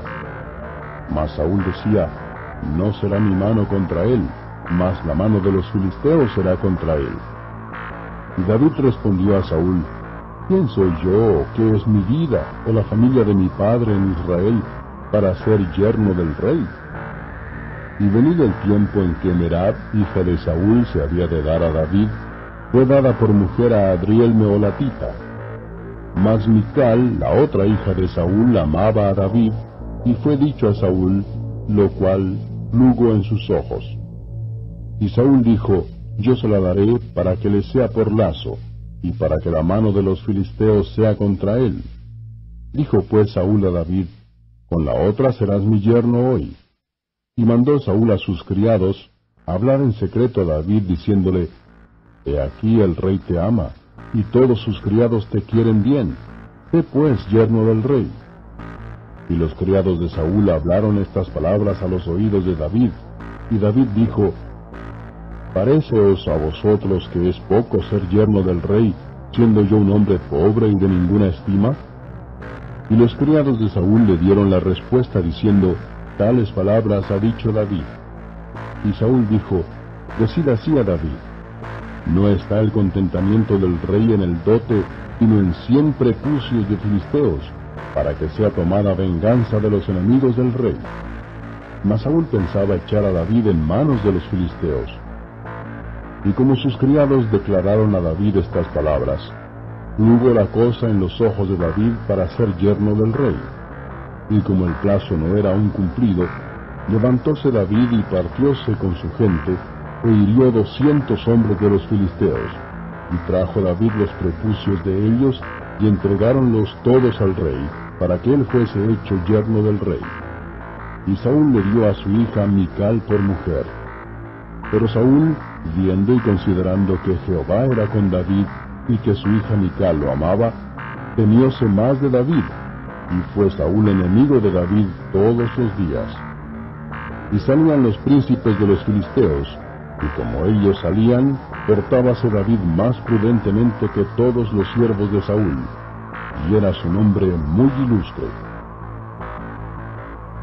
Capítulo 19 Y habló Saúl a Jonatán su hijo, y a todos sus criados, para que matasen a David, mas Jonatán, hijo de Saúl, amaba a David en gran manera. Y dio aviso a David diciendo, Saúl mi padre procura matarte. Por tanto, mira ahora por ti hasta la mañana, y estate en paraje oculto y escóndete. Y yo saldré y estaré junto a mi padre en el campo donde estuvieres, y hablaré de ti a mi padre y te haré saber lo que notare. Y Jonatán habló bien de David a Saúl su padre y díjole, no peque el rey contra su siervo David, pues que ninguna cosa ha cometido contra ti, ante sus obras te han sido muy buenas, porque él puso su alma en su palma e hirió al filisteo, y Jehová hizo una gran salud a todo Israel. Tú lo viste y te holgaste. ¿Por qué pues pecarás contra la sangre inocente, matando a David sin causa? Y oyendo Saúl la voz de Jonatán, juró, Vive Jehová que no morirá. Llamando entonces Jonatán a David, declaróle todas estas palabras. Y él mismo presentó a David a Saúl, y estuvo delante de él como antes. Y tornó a hacerse guerra, Y salió David y peleó contra los filisteos e hiriólos con grande estrago, y huyeron delante de él. Y el espíritu malo de parte de Jehová fue sobre Saúl, y estando sentado en su casa tenía una lanza a mano, mientras David estaba tañendo con su mano. Y Saúl procuró enclavar a David con la lanza en la pared, mas él se apartó de delante de Saúl, el cual hirió con la lanza en la pared, y David huyó y escapóse aquella noche. Saúl envió luego mensajeros a casa de David para que lo guardasen y lo matasen a la mañana. Mas Mical, su mujer, lo descubrió a David diciendo, Si no salvares tu vida esta noche, mañana serás muerto. Y descolgó Mical a David por una ventana, y él se fue y huyó y escapóse. Tomó luego Mical una estatua y púsola sobre la cama, y acomodóle por cabecera una almohada de pelos de cabra, y cubrióla con una ropa. Y cuando Saúl envió mensajeros que tomasen a David, ella respondió, Está enfermo. Y tornó Saúl a enviar mensajeros para que diesen a David, diciendo, Tráenmelo en la cama para que lo mate. Y como los mensajeros entraron, he aquí la estatua estaba en la cama, y una almohada de pelos de cabra por cabecera. Entonces Saúl dijo a Mical, ¿Por qué me has así engañado y has dejado escapar a mi enemigo? Y Mical respondió a Saúl, Porque él me dijo, Déjame ir, si no, yo te mataré. Huyó pues David y escapóse y vino a Samuel en Rama, y díjole todo lo que Saúl había hecho con él. Y fuéronse él y Samuel y moraron en Nahor. Y fue dado aviso a Saúl diciendo, He aquí que David está en Nahor en Rama. Y envió Saúl mensajeros que trajesen a David, los cuales vieron una compañía de profetas que profetizaban, y a Samuel que estaba allí y los presidía. Y fue el Espíritu de Dios sobre los mensajeros de Saúl, y ellos también profetizaron. Y hecho que fue saber a Saúl, él envió otros mensajeros, los cuales también profetizaron. Y Saúl volvió a enviar por tercera vez mensajeros, y ellos también profetizaron. Entonces, él mismo vino a Rama, y llegando al pozo grande que está en Soco, preguntó diciendo, ¿Dónde están Samuel y David? Y fuele respondido, He aquí están en Nahot, en Rama. Y fue allá a Nahot, en Rama, y también vino sobre él el Espíritu de Dios, e iba profetizando hasta que llegó a Nahot, en Rama. Y él también se desnudó sus vestidos, y profetizó igualmente delante de Samuel, y cayó desnudo todo aquel día y toda aquella noche. De aquí se dijo, ¿también Saúl entre los profetas? Capítulo 20 Y David huyó de Nahot, que es en Rama, y vínose delante de Jonatán y dijo, ¿Qué he hecho yo? ¿Cuál es mi maldad o cuál es mi pecado contra tu padre que él busca mi vida? Y él le dijo, En ninguna manera no morirás. He aquí que mi padre ninguna cosa hará, grande ni pequeña, que no me la descubra. ¿Por qué pues me encubrirá mi padre este negocio? No será así. Y David volvió a jurar diciendo, Tu padre sabe claramente que yo he hallado gracia delante de tus ojos y dirá, No sepa esto Jonatán porque no tenga pesar, y ciertamente vive Jehová y vive tu alma, que apenas hay un paso entre mí y la muerte. Y Jonatán dijo a David, ¿Qué discurre tu alma y harélo por ti? Y David respondió a Jonatán, He aquí que mañana será nueva luna, y yo acostumbro sentarme con el rey a comer, mas tú dejarás que me esconda en el campo hasta la tarde del tercer día. Si tu padre hiciera mención de mí, dirás, rogóme mucho que lo dejase ir presto a Betlehem su ciudad, porque todos los de su linaje tienen allá sacrificio aniversario. Y él dijere, bien está, paz tendrá tu siervo. Mas si se enojare, sabe que la malicia es en él consumada. Harás pues misericordia con tu siervo, ya que has traído tu siervo a alianza de Jehová contigo. Y si maldad hay en mí, mátame tú, que no hay necesidad de llevarme hasta tu padre. Y Jonatán le dijo, nunca tal te suceda, antes bien, si yo entendiera ser consumada la malicia de mi padre para venir sobre ti, ¿no había yo de descubrírtelo? Dijo entonces David a Jonatán, ¿quién me dará aviso? ¿O qué si tu padre te respondiere ásperamente? Y Jonatán dijo a David, Ven, salgamos al campo. Y salieron ambos al campo.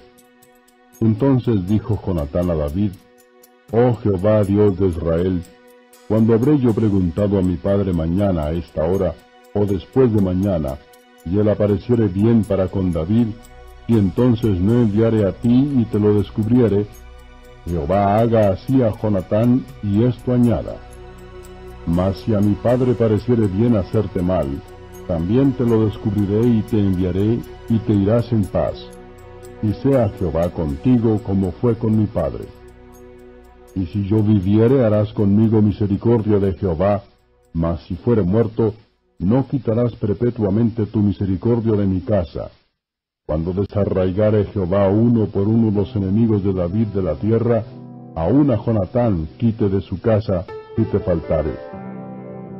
Así hizo Jonatán alianza con la casa de David, diciendo, Requiéralo Jehová de la mano de los enemigos de David. Y tornó Jonatán a jurar a David, porque le amaba, porque le amaba como a su alma. Díjole luego Jonatán, Mañana es nueva luna, y tú serás echado de menos, porque tu asiento estará vacío.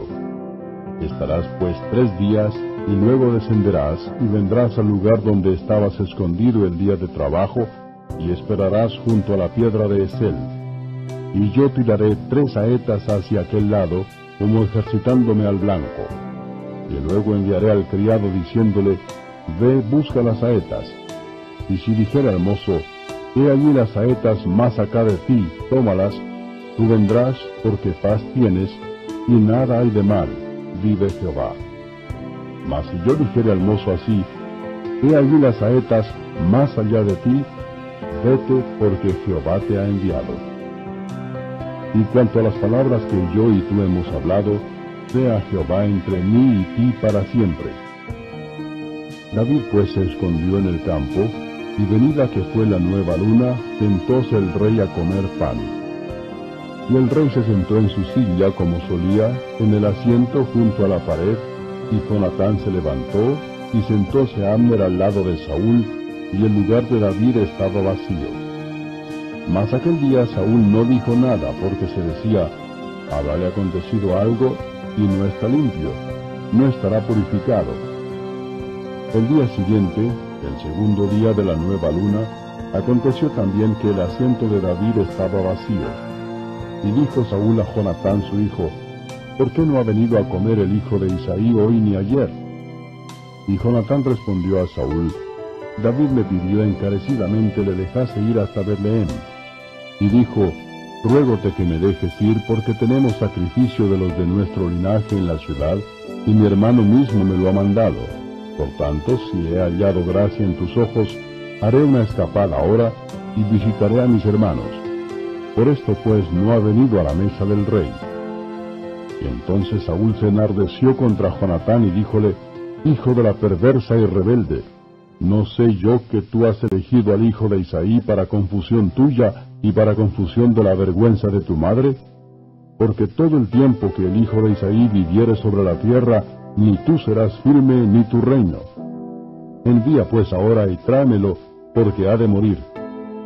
Y Jonatán respondió a su padre Saúl y díjole, ¿Por qué morirá?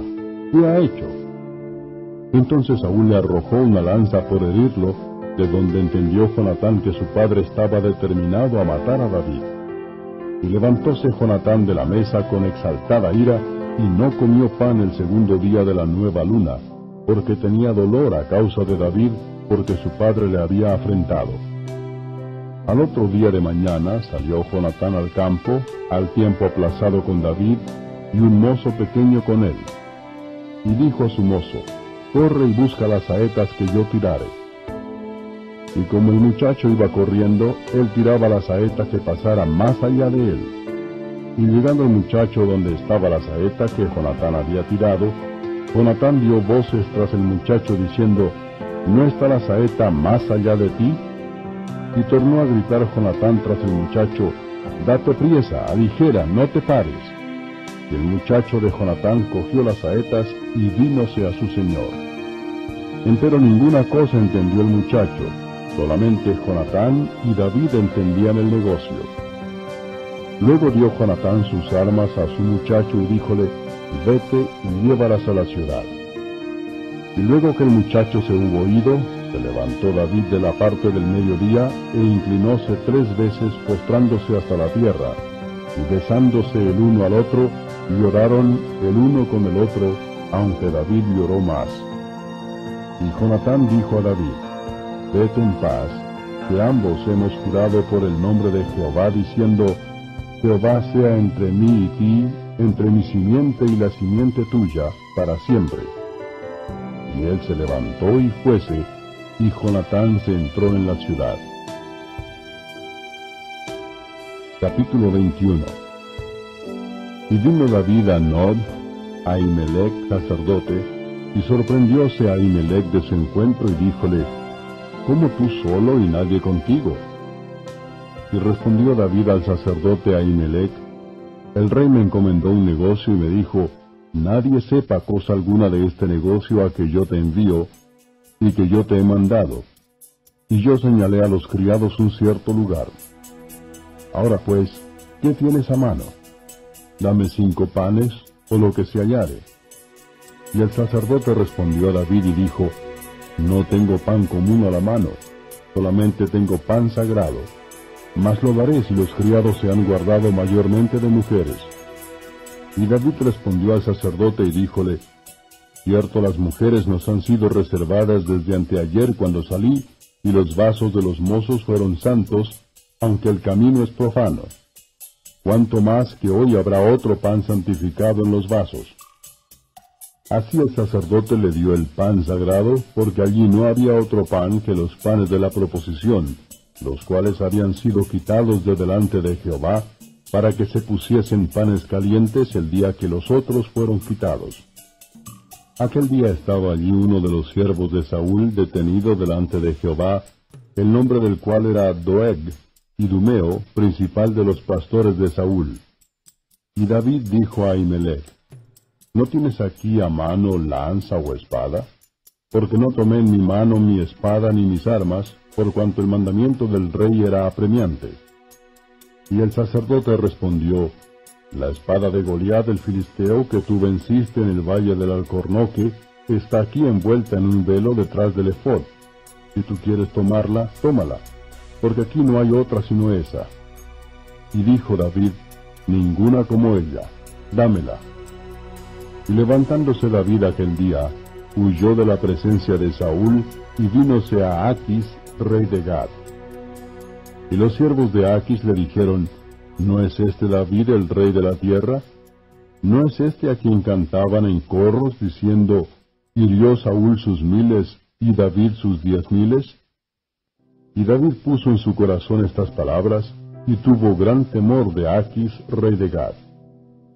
Y mudó su habla delante de ellos, y fingióse loco entre sus manos y escribía en las portadas de las puertas, dejando correr su saliva por la barba. Y dijo Aquis a sus siervos, que aquí estáis viendo un hombre de mente, ¿por qué lo habéis traído a mí? ¿Faltanme a mí locos para que hayáis traído este que hiciese de loco delante de mí? ¿Había de venir este a mi casa? Capítulo 22 Y yéndose David de allí, escapóse a la cueva de Adulam, lo cual, como oyeron sus hermanos y toda la casa de su padre, vinieron allí a él. Y juntáronse con él todos los afligidos, y todo el que estaba adeudado, y todos los que se hallaban en amargura de espíritu, y fue hecho capitán de ellos, y tuvo consigo como cuatrocientos hombres. Y fuese David de allí a Mizpa de Moab, y dijo al rey de Moab, yo te ruego que mi padre y mi madre estén con vosotros hasta que sepa lo que Dios hará de mí. Trájolos pues a la presencia del rey de Moab, y habitaron con él todo el tiempo que David estuvo en la fortaleza. Y ya profeta dijo a David, no te estés en esta fortaleza, pártete y vete a tierra de Judá. Y David se partió y vino al bosque de Aret. Y oyó Saúl cómo había aparecido David y los que estaban con él. Estaba entonces Saúl en Gabá, debajo de un árbol en rama, y tenía su lanza en su mano, y todos sus criados estaban en derredor de él. Y dijo Saúl a sus criados que estaban en derredor de él, Oíd ahora, hijos de Benjamín, os dará también a todos vosotros el hijo de Isaí tierras y viñas, y os hará a todos tribunos y centuriones? Que todos vosotros habéis conspirado contra mí, y no hay quien me descubra al oído como mi hijo ha hecho alianza con el hijo de Isaí, ni alguno de vosotros que se duela de mí, y me descubra cómo mi hijo ha levantado a mi siervo contra mí, para que me aceche según hace hoy día. Entonces Doeg Idumeo, que era superior entre los siervos de Saúl, respondió y dijo, Yo vi al hijo de Isaí que vino a Nob, a Ahimelech, hijo de Aitob, el cual consultó por él a Jehová, y diole provisión y también le dio la espada de Goliat el filisteo. Y el rey envió por el sacerdote Ahimelech, hijo de Aitob, y por toda la casa de su padre, los sacerdotes que estaban en Nob, y todos vinieron al rey. Y Saúl le dijo, Oye ahora, hijo de Aitob. Y él dijo, Heme aquí, señor mío. Y díjole Saúl, ¿por qué habéis conspirado contra mí, tú y el hijo de Isaí, cuando tú le diste pan y espada y consultaste por él a Dios para que se levantase contra mí y me acechase como lo hace hoy día? Entonces Ahimelech respondió al rey y dijo, ¿Y quién entre todos tus siervos es tan fiel como David, yerno además del rey, y que va por tu mandado y es ilustre en tu casa? ¿He comenzado yo desde hoy a consultar por él a Dios? Lejos sea de mí. No impute el rey cosa alguna a su siervo ni a toda la casa de mi padre, porque tu siervo ninguna cosa sabe de este negocio, grande ni chica. Y el rey dijo, Sin duda morirás, Ahimelech, tú y toda la casa de tu padre. Entonces dijo el rey a la gente de su guardia que estaba alrededor de él, Cercad y matad a los sacerdotes de Jehová, porque también la mano de ellos es con David, pues sabiendo ellos que huía, no me lo descubrieron. Mas los siervos del rey no quisieron extender sus manos para matar a los sacerdotes de Jehová. Entonces dijo el rey a Doeg, Vuelve tú y arremete contra los sacerdotes. Y revolviéndose Doeg y Dumeo, arremetió contra los sacerdotes, y mató en aquel día ochenta y cinco varones que vestían efod de lino. Y a Nob, ciudad de los sacerdotes, puso a cuchillo, así a hombres como a mujeres, niños y mamantes, bueyes y asnos y ovejas, todo a cuchillo. Mas uno de los hijos de Ahimelech, hijo de Aitob, que se llamaba Abiatar, escapó y huyóse a David. Y Abiatar notició a David cómo Saúl había muerto los sacerdotes de Jehová. Y dijo David a Abiatar, Yo sabía que estando allí aquel día Doeg el Idumeo, él lo había de hacer saber a Saúl. Yo he dado ocasión contra todas las personas de la casa de tu padre. Quédate conmigo, no temas. Quien buscare mi vida buscará también la tuya, bien que tú estarás conmigo guardado. Capítulo 23 Y dieron aviso a David diciendo, He aquí que los filisteos combaten a Keila y roban las eras. Y David consultó a Jehová diciendo, ¿Iré a herir a estos filisteos? Y Jehová respondió a David, Ve, hiere a los filisteos y libra a Keila. Mas los que estaban con David le dijeron, He aquí que nosotros aquí en Judá estamos con miedo ¿Cuánto más si fuéramos a Keila contra el ejército de los filisteos? Entonces David volvió a consultar a Jehová. Y Jehová le respondió y dijo, Levántate, desciende a Keila, que yo entregaré en tus manos a los filisteos. Partióse pues David con sus hombres a Keila, y peleó contra los filisteos, y trajo antecogidos sus ganados, e hiriólos con gran estrago, y libró David a los de Keila. Y aconteció que huyendo Abiatar, hijo de Ahimelech, a David, a Keila, vino también con él el. Y fue dicho a Saúl que David había venido a Keila. Entonces dijo Saúl, Dios lo ha traído a mis manos, porque él está encerrado habiéndose metido en ciudad con puertas y cerraduras. Y convocó Saúl todo el pueblo a la batalla para descender a Keila y poner cerco a David y a los suyos. Mas entendiendo David que Saúl ideaba el mal contra él, dijo a Abiatar sacerdote, trae el efod. Y dijo David, Jehová Dios de Israel, tu siervo tiene entendido que Saúl trata de venir contra Keila, a destruir la ciudad por causa mía. ¿Me entregarán los vecinos de Keila en sus manos? ¿Descenderá Saúl como tu siervo tiene oído? Jehová Dios de Israel, ruégote que lo declares a tu siervo. Y Jehová dijo, Sí, descenderá. Dijo luego David, ¿Me entregarán los vecinos de Keila a mí y a mis hombres en manos de Saúl?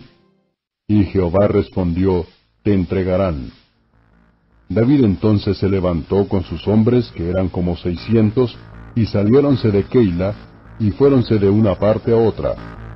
Y vino la nueva a Saúl de cómo David se había escapado de Keila, y dejó de salir.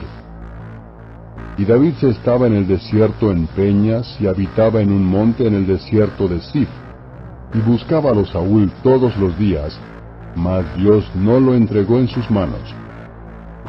Viendo pues David que Saúl había salido en busca de su alma, estábase él en el bosque en el desierto de Sif. Entonces se levantó Jonatán, hijo de Saúl, y vino a David en el bosque, y confortó su mano en Dios. Y díjole, No temas, que no te hallará la mano de Saúl mi padre, y tú reinarás sobre Israel, y yo seré segundo después de ti. Y aun Saúl mi padre así lo sabe. Y entrambos hicieron alianza delante de Jehová. Y David se quedó en el bosque, y Jonatán se volvió a su casa. Y subieron los de Sif a decir a Saúl en Gabá, ¿no está David escondido en nuestra tierra en las peñas del bosque, en el collado de Achila, que está a la mano derecha del desierto? Por tanto, rey, desciende ahora presto según todo el deseo de tu alma, y nosotros lo entregaremos en la mano del rey. Y Saúl dijo, Bendito seáis vosotros de Jehová, que habéis tenido compasión de mí. Y pues ahora, apercibid aún, considerad y ved su lugar donde tiene el pie, y quien lo haya visto allí, porque se me ha dicho que él es en gran manera astuto. Considerad pues y ved todos los escondrijos donde se oculta, y volved a mí con la certidumbre, y yo iré con vosotros. Que si él estuviera en la tierra, yo le buscaré entre todos los millares de Judá. Y ellos se levantaron y se fueron a Sif delante de Saúl. Mas David y su gente estaban en el desierto de Maón, en la llanura que está a la diestra del desierto. Y partióse Saúl con su gente a buscarlo, pero fue dado aviso a David, y descendió a la peña y quedóse en el desierto de Maón, lo cual, como Saúl oyó, siguió a David al desierto de Maón. Y Saúl iba por el un lado del monte, y David con los suyos por el otro lado del monte. Y dábase priesa a David para ir delante de Saúl, mas Saúl y los suyos habían encerrado a David y a su gente para tomarlos. Entonces vino un mensajero a Saúl diciendo, Ven luego porque los filisteos han hecho una irrupción en el país. Volvióse por tanto Saúl de perseguir a David, y partió contra los filisteos. Por esta causa pusieron a aquel lugar por nombre Sela Amalekot. Entonces David subió de allí y habitó en los parajes fuertes de Engadi. Capítulo 24 Y como Saúl volvió de los filisteos, diéronle aviso diciendo, He aquí que David está en el desierto de Engadi. Y tomando Saúl tres mil hombres escogidos de todo Israel, fue en busca de David y de los suyos por las cumbres de los peñascos de las cabras monteses. Y como llegó a una majada de ovejas en el camino, donde había una cueva, entró Saúl en ella a cubrir sus pies. Y David y los suyos estaban a los lados de la cueva. Entonces los de David le dijeron, He aquí el día de que te ha dicho Jehová, He aquí que entrego tu enemigo en tus manos, y harás con él como te pareciere. Y levantóse David, y calladamente cortó la orilla del manto de Saúl. Después de lo cual el corazón de David le golpeaba, porque había cortado la orilla del manto de Saúl. Y dijo a los suyos, Jehová me guarde de hacer tal cosa contra mi señor, el ungido de Jehová, que yo extienda mi mano contra él, porque es el ungido de Jehová. Así quebrantó David a los suyos con palabras, y no les permitió que se levantasen contra Saúl. Y Saúl saliendo de la cueva, fuese su camino. También David se levantó después y saliendo de la cueva dio voces a las espaldas de Saúl diciendo, Mi señor el rey. Y como Saúl miró atrás, David inclinó su rostro a tierra e hizo reverencia. Y dijo David a Saúl, ¿Por qué oyes las palabras de los que dicen, mira que David procura tu mal? He aquí han visto hoy tus ojos cómo Jehová te ha puesto hoy en mis manos en la cueva, y dijeron que te matase, mas te perdoné porque dije, no extenderé mi mano contra mi Señor, porque ungido es de Jehová. Y mira, Padre mío, mira aún la orilla de tu manto en mi mano, porque yo corté la orilla de tu manto y no te maté. Conoce pues y ve que no hay mal ni traición en mi mano, ni he pecado contra ti. Con todo, tú andas a casa de mi vida para quitármela. Juzgue Jehová entre mí y ti, y véngueme de ti Jehová. Empero mi mano no será contra ti. Como dice el proverbio de los antiguos, de los impíos saldrá la impiedad, así que mi mano no será contra ti. ¿Tras quién ha salido el rey de Israel? ¿A quién persigues? ¿A un perro muerto? ¿A una pulga? Jehová pues será juez, y él juzgará entre mí y ti. Él vea y sustente mi causa y me defienda de tu mano. Y aconteció que como David acabó de decir estas palabras a Saúl, Saúl dijo, ¿No es esta la voz tuya, hijo mío David? Y alzando Saúl su voz, lloró. Y dijo a David, más justo eres tú que yo, que me has pagado con bien, habiéndote yo pagado con mal. Tú has mostrado hoy que has hecho conmigo bien, pues no me has muerto, habiéndome Jehová puesto en tus manos. Porque, ¿quién hallará a su enemigo y lo dejará ir sano y salvo? Jehová te pague con bien por lo que en este día has hecho conmigo. Y ahora, como yo entiendo que tú has de reinar, y que el reino de Israel ha de ser en tu mano firme y estable, júrame pues ahora por Jehová, que no cortarás mi simiente después de mí, ni raerás mi nombre de la casa de mi padre. Entonces David juró a Saúl. Y fuese Saúl a su casa, y David de los suyos se subieron al sitio fuerte. Capítulo 25 y murió Samuel y juntóse todo Israel, y lo lloraron, y lo sepultaron en su casa en Rama. Y levantóse David y se fue al desierto de Parán. Y en Maón había un hombre que tenía su hacienda en el Carmelo, el cual era muy rico, que tenía tres mil ovejas y mil cabras. Y aconteció hallarse esquilando sus ovejas en el Carmelo. El nombre de aquel varón era Nabal, y el nombre de su mujer Abigail, y era aquella mujer de buen entendimiento y de buena gracia, mas el hombre era duro y de malos hechos, y era del linaje de Caleb. Y oyó David en el desierto que Nabal esquilaba sus ovejas. Entonces envió David diez criados y díjoles, Subid al Carmelo, e id a Nabal y saludadle en mi nombre, y decirle así, Que vivas y sea paz a ti y pasa tu familia, y pasa todo cuanto tienes. A poco supe que tienes esquiladores. Ahora a los pastores tuyos que han estado con nosotros, nunca les hicimos fuerza, ni les faltó algo en todo el tiempo que han estado en el Carmelo.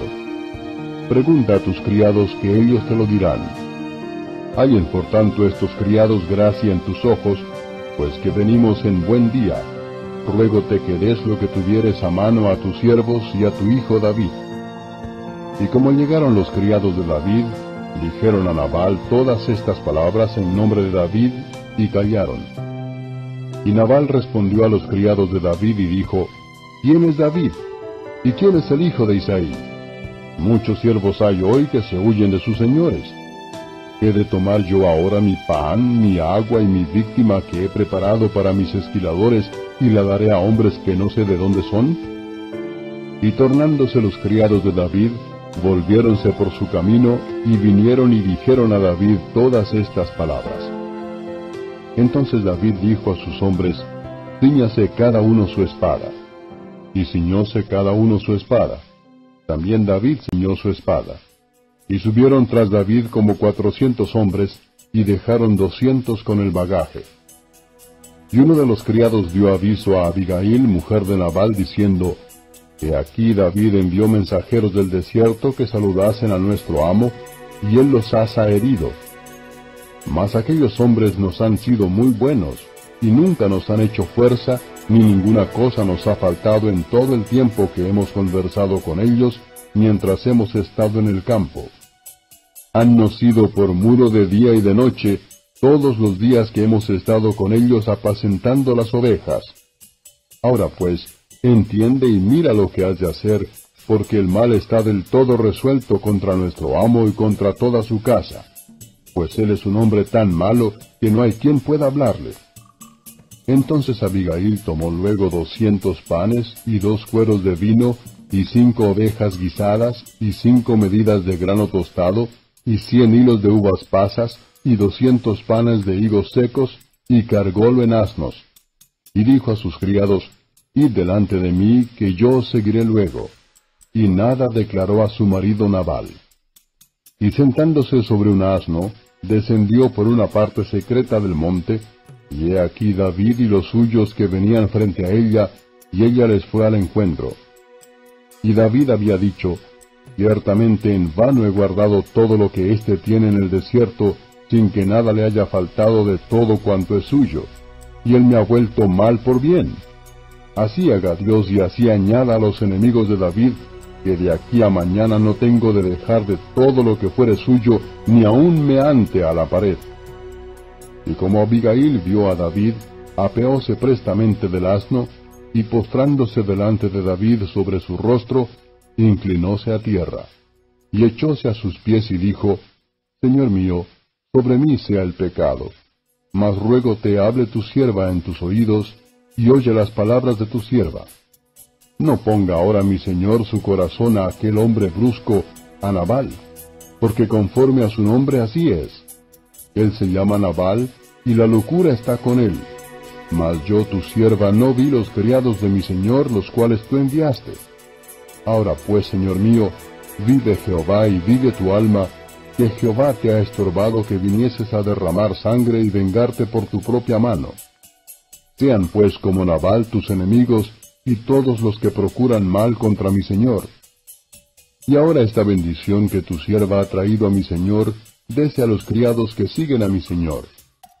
Y yo te ruego que perdones a tu sierva esta ofensa, pues Jehová de cierto hará casa firme a mi Señor, por cuanto mi Señor hace las guerras de Jehová, y mal no se ha hallado en ti en tus días bien que alguien se haya levantado a perseguirte y a atentar a tu vida, con todo, el alma de mi Señor será ligada en el haz de los que viven con Jehová Dios tuyo, y él arrojará el alma de tus enemigos como de en medio de la palma de una onda. Y acontecerá que cuando Jehová hiciere con mi Señor conforme a todo el bien que ha hablado de ti, y te mandare que seas caudillo sobre Israel, entonces, Señor mío, no te será esto en tropiezo y turbación de corazón el que hayas derramado sangre sin causa, o que mi Señor se haya vengado por sí mismo. Guárdese pues mi Señor, y cuando Jehová hiciere bien a mi Señor, acuérdate de tu sierva. Y dijo David a Abigail, Bendito sea Jehová Dios de Israel que te envió para que hoy me encontrases. Y bendito sea tu razonamiento y bendita tú que me has estorbado hoy el ir a derramar sangre y a vengarme por mi propia mano. Porque vive Jehová Dios de Israel que me ha defendido de hacerte mal, que si no te hubieras dado priesa en venirme al encuentro, de aquí a mañana no le quedara a Nabal meante a la pared. Y recibió David de su mano lo que le había traído y díjole, Sube en paz a tu casa, y mira que he oído tu voz y tenídote respeto. Y Abigail se vino a Nabal, Y he aquí que él tenía banquete en su casa como banquete de rey, y el corazón de Nabal estaba alegre en él, y estaba muy borracho, por lo que ella no le declaró poco ni mucho hasta que vino el día siguiente. Pero a la mañana, cuando el vino había salido de Nabal, refirióle su mujer estas cosas, y se le amorteció el corazón, y quedóse como una piedra. Y pasados diez días, Jehová hirió a Nabal, y murió. Y luego que David oyó que Nabal era muerto, dijo, Bendito sea Jehová que juzgó la causa de mi afrenta recibida de la mano de Nabal, y ha preservado del mal a su siervo, y Jehová ha tornado la malicia de Nabal sobre su propia cabeza. Después envió David a hablar a Abigail para tomarla por su mujer. Y los criados de David vinieron a Abigail en el Carmelo, y hablaron con ella diciendo, David nos ha enviado a ti para tomarte por su mujer. Y ella se levantó e inclinó su rostro a tierra diciendo, He aquí tu sierva para que sea sierva que lave los pies de los siervos de mi señor. Y levantándose luego Abigail con cinco mozas que la seguían, montóse en un asno y siguió los mensajeros de David, y fue su mujer. También tomó David a Ainoam de Jezreel, y ambas a dos fueron sus mujeres, porque Saúl había dado su hija Mical, mujer de David, a Palti, hijo de Lais, que era de Galim. Capítulo 26 Y vinieron los cifeos a Saúl en Gabá, diciendo, ¿No está David escondido en el collado de Aquila, delante del desierto? Saúl entonces se levantó y descendió al desierto de Sif, llevando consigo tres mil hombres escogidos de Israel, para buscar a David en el desierto de Sif. Y asentó Saúl el campo en el collado de Aquila, que está delante del desierto junto al camino. Y estaba David en el desierto, y entendió que Saúl le seguía en el desierto. David por tanto envió espías entendió por cierto que Saúl había venido. Y levantóse David y vino al sitio donde Saúl había asentado el campo, y miró David el lugar donde dormía Saúl, y Abner, hijo de Ner, general de su ejército. Y estaba Saúl durmiendo en la trinchera, y el pueblo por el campo en derredor de él. Entonces habló David y requirió a Ahimelech Eteo, y a Abisai, hijo de Sarbia, hermano de Joab, diciendo, ¿Quién descenderá conmigo a Saúl al campo? Y dijo Abisai, Yo descenderé contigo. David pues y Abisai vinieron al pueblo de noche, y he aquí Saúl que estaba tendido durmiendo en la trinchera, y su lanza hincada en tierra a su cabecera. Y Abner y el pueblo estaban alrededor de él tendidos.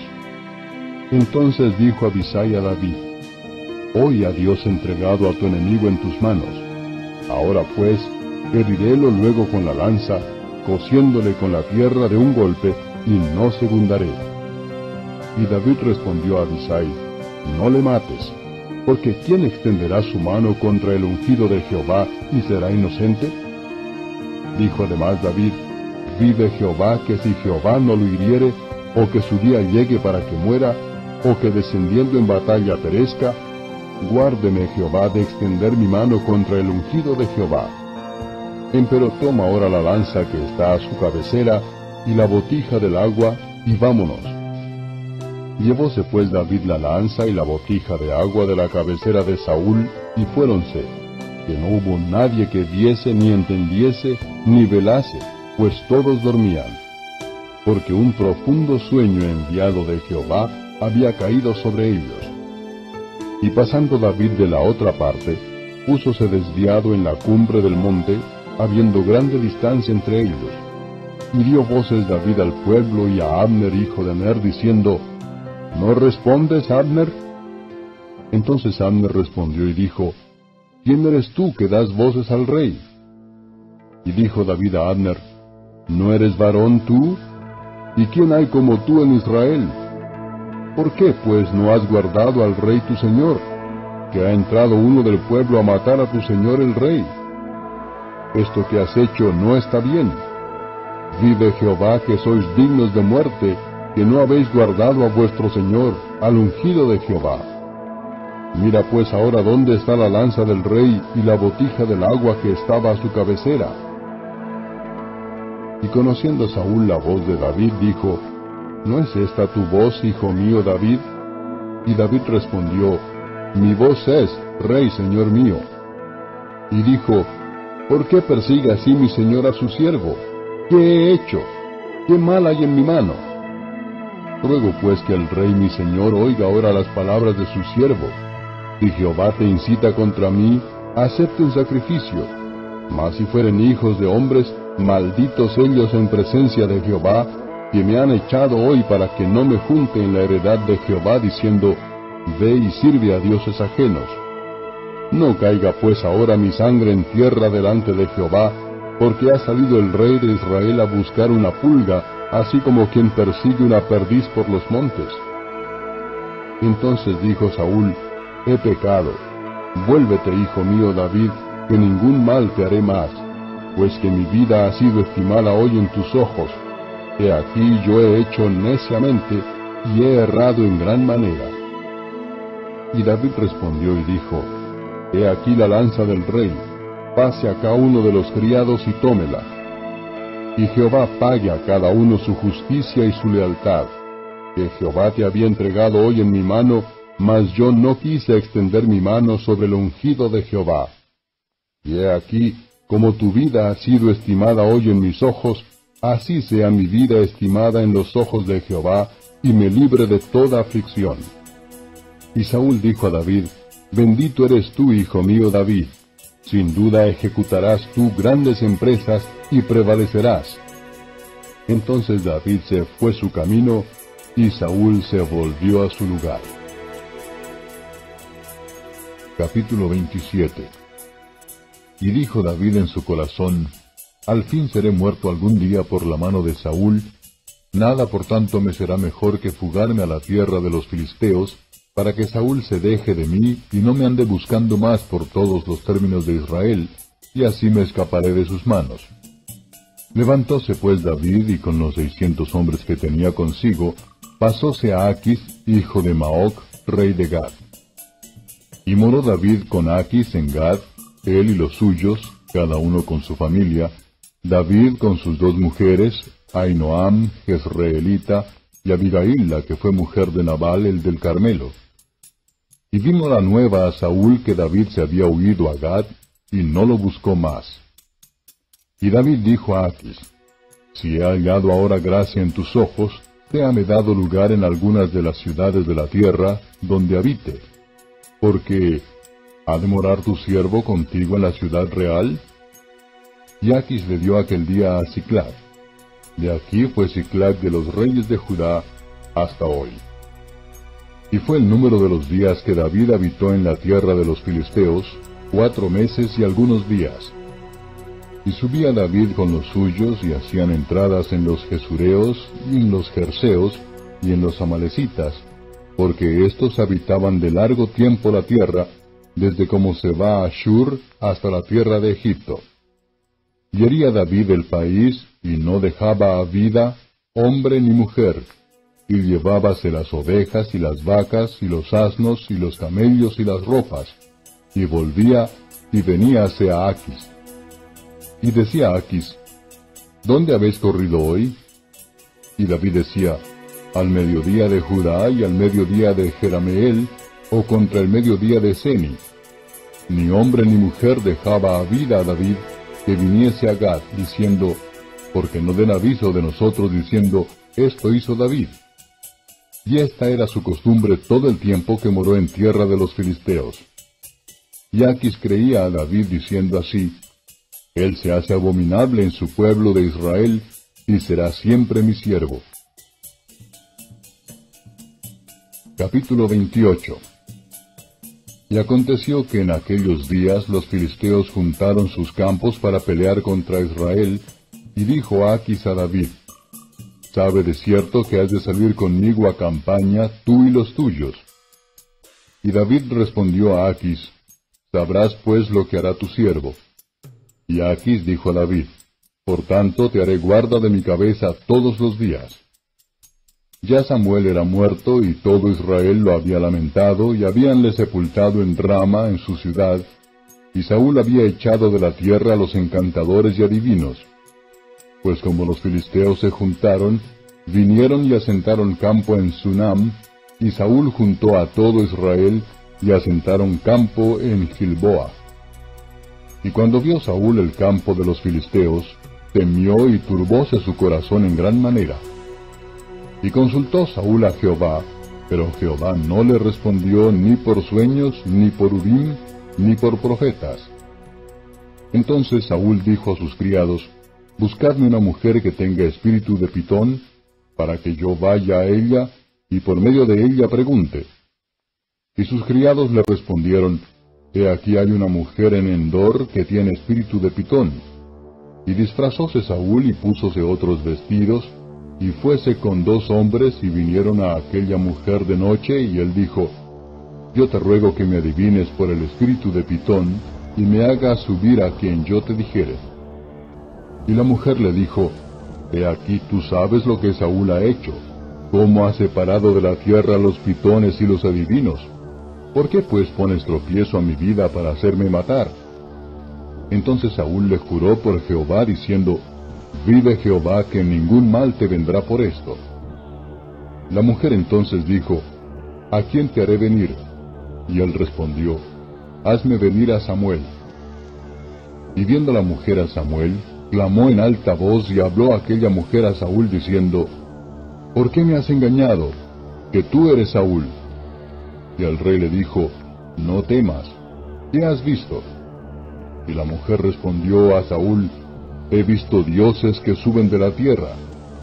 Y él le dijo, ¿cuál es su forma? Y ella respondió, un hombre anciano viene cubierto de un manto. Saúl entonces entendió que era Samuel, y humillando el rostro a tierra hizo gran reverencia. Y Samuel dijo a Saúl, ¿por qué me has inquietado haciéndome venir? Y Saúl respondió, Estoy muy congojado, pues los filisteos pelean contra mí y Dios se ha apartado de mí y no me responde más, ni por mano de profetas, ni por sueños. Por esto te he llamado, para que me declares qué tengo de hacer. Entonces Samuel dijo, ¿Y para qué me preguntas a mí, habiéndose apartado de ti Jehová, y es tu enemigo? Jehová pues ha hecho como habló por medio de mí, pues ha cortado Jehová el reino de tu mano, y lo ha dado a tu compañero David. Como tú no obedeciste a la voz de Jehová, ni cumpliste el furor de su ira sobre Amalek, por eso Jehová te ha hecho esto hoy. Y Jehová entregará a Israel también contigo en manos de los filisteos, y mañana seréis conmigo tú y tus hijos. Y aun el campo de Israel entregará Jehová en manos de los filisteos. En aquel punto cayó Saúl en tierra cuán grande era, y tuvo gran temor por las palabras de Samuel que no quedó en él esfuerzo ninguno, porque en todo aquel día y aquella noche no había comido pan. Entonces la mujer vino a Saúl y viéndole en grande manera turbado, díjole, He aquí que tu criada ha obedecido a tu voz, y he puesto mi vida en mi mano, y he oído las palabras que tú me has dicho. Ruégote pues que tú también oigas la voz de tu sierva. Pondré yo delante de ti un bocado de pan que comas, para que te corrobores y vayas tu camino. Y él lo rehusó diciendo, No comeré. Mas sus criados juntamente con la mujer le constriñeron, y él los obedeció. Levantóse pues del suelo y sentóse sobre una cama. Y aquella mujer tenía en su casa un ternero grueso, el cual mató luego, y tomó harina y amasóla, y coció de ella panes sin levadura y lo trajo delante de Saúl y de sus criados, y luego que hubieron comido se levantaron y partieron aquella noche. Capítulo 29 Y los filisteos juntaron todos sus campos en Afec, e Israel puso su campo junto a la fuente que está en Jezreel. Y reconociendo los príncipes de los filisteos sus compañías de asiento y de a mil hombres, David y los suyos iban en los postreros con Aquis. Y dijeron los príncipes de los filisteos, ¿qué hacen aquí estos hebreos? Y Aquis respondió a los príncipes de los filisteos, ¿No es este David, el siervo de Saúl, rey de Israel, que ha estado conmigo algunos días o algunos años, y no he hallado cosa en él desde el día que se pasó a mí hasta hoy? Entonces los príncipes de los filisteos se enojaron contra él y dijéronle, Envía a este hombre que se vuelva al lugar que le señalaste y no venga con nosotros a la batalla, no sea que en la batalla se nos vuelva enemigo. Porque con qué cosa volvería mejor a la gracia de su Señor que con las cabezas de estos hombres? ¿No es este David de quien cantaban en los corros diciendo, Saúl hirió sus miles y David sus diez miles? Yaquis llamó a David y díjole, Vive Jehová, que tú has sido recto, y que me ha parecido bien tu salida y entrada en el campo conmigo, y que ninguna cosa mala he hallado en ti desde el día que viniste a mí hasta hoy. Mas en los ojos de los príncipes no agradas. Vuélvete pues y vete en paz, y no hagas lo malo en los ojos de los príncipes de los filisteos. Y David respondió a Aquis, ¿qué he hecho? ¿Qué has hallado en tu siervo desde el día que estoy contigo hasta hoy, para que yo no vaya y pelee contra los enemigos de mi señor el rey? Y Aquis respondió a David y dijo, Yo sé que tú eres bueno en mis ojos como un ángel de Dios, mas los príncipes de los filisteos han dicho, No venga con nosotros a la batalla. Levántate pues de mañana, tú y los siervos de tu señor que han venido contigo, y levantados de mañana, Luego al amanecer partíos. Y levantóse David de mañana, él y los suyos, para irse y volverse a la tierra de los filisteos, y los filisteos fueron a Jezreel. Capítulo 30 Y cuando David y los suyos vinieron a Ciclag al tercer día, los de Amalec habían invadido el mediodía y a Ciclag, y habían desolado a Ciclag y puéstola a fuego y habíanse llevado cautivas a las mujeres que estaban en ella, desde el menor hasta el mayor, mas a nadie habían muerto sino llevado e ídose su camino. Vino pues David con los suyos a la ciudad, y he aquí que estaba quemada a fuego, y sus mujeres y sus hijos e hijas llevadas cautivas. Entonces David y la gente que con él estaba, alzaron su voz y lloraron hasta que les faltaron las fuerzas para llorar. Las dos mujeres de David, Ainoam Jezreelita y Abigail, la que fue mujer de Nabal del Carmelo, también eran cautivas. Y David fue muy angustiado porque el pueblo hablaba de apedrearlo, porque todo el pueblo estaba con ánimo amargo, cada uno por sus hijos y por sus hijas. Mas David se esforzó en Jehová su Dios. Y dijo David al sacerdote Abiatar, hijo de Ahimelech, yo te ruego que me acerques el efod, y Abiatar acercó el efod a David. Y David consultó a Jehová diciendo, ¿Seguiré esta tropa? ¿Podré la alcanzar? Y él le dijo, Síguela, que de cierto la alcanzarás, y sin falta librarás la presa. Partióse pues David, él y los seiscientos hombres que con él estaban, y vinieron hasta el torrente de Besor, donde se quedaron algunos. Y David siguió el alcance con cuatrocientos hombres, porque se quedaron atrás doscientos, que cansados no pudieron pasar el torrente de Besor. Y hallaron en el campo un hombre egipcio, el cual trajeron a David, y diéronle pan que comiese y a beber agua. Diéronle también un pedazo de masa de higos secos y dos hilos de pasas. Y luego que comió volvió en él su espíritu, porque no había comido pan ni bebido agua en tres días y tres noches. Y díjole David, ¿De quién eres tú? ¿Y de dónde eres? Y respondió el mozo egipcio, Yo soy siervo de una malecita, y dejóme mi amo hoy a tres días porque estaba enfermo, pues hicimos una incursión a la parte del mediodía de Sereti y a Judá y al mediodía de Caleb, y pusimos fuego a Ciclac y díjole David, ¿me llevarás tú a esa tropa? Y él dijo, Hazme juramento por Dios que no me matarás, ni me entregarás en las manos de mi amo, y yo te llevaré a esa gente. Llevólo pues, y he aquí que estaban derramados sobre la haz de toda aquella tierra, comiendo y bebiendo y haciendo fiesta por toda aquella gran presa que habían tomado de la tierra de los filisteos, y de la tierra de Judá.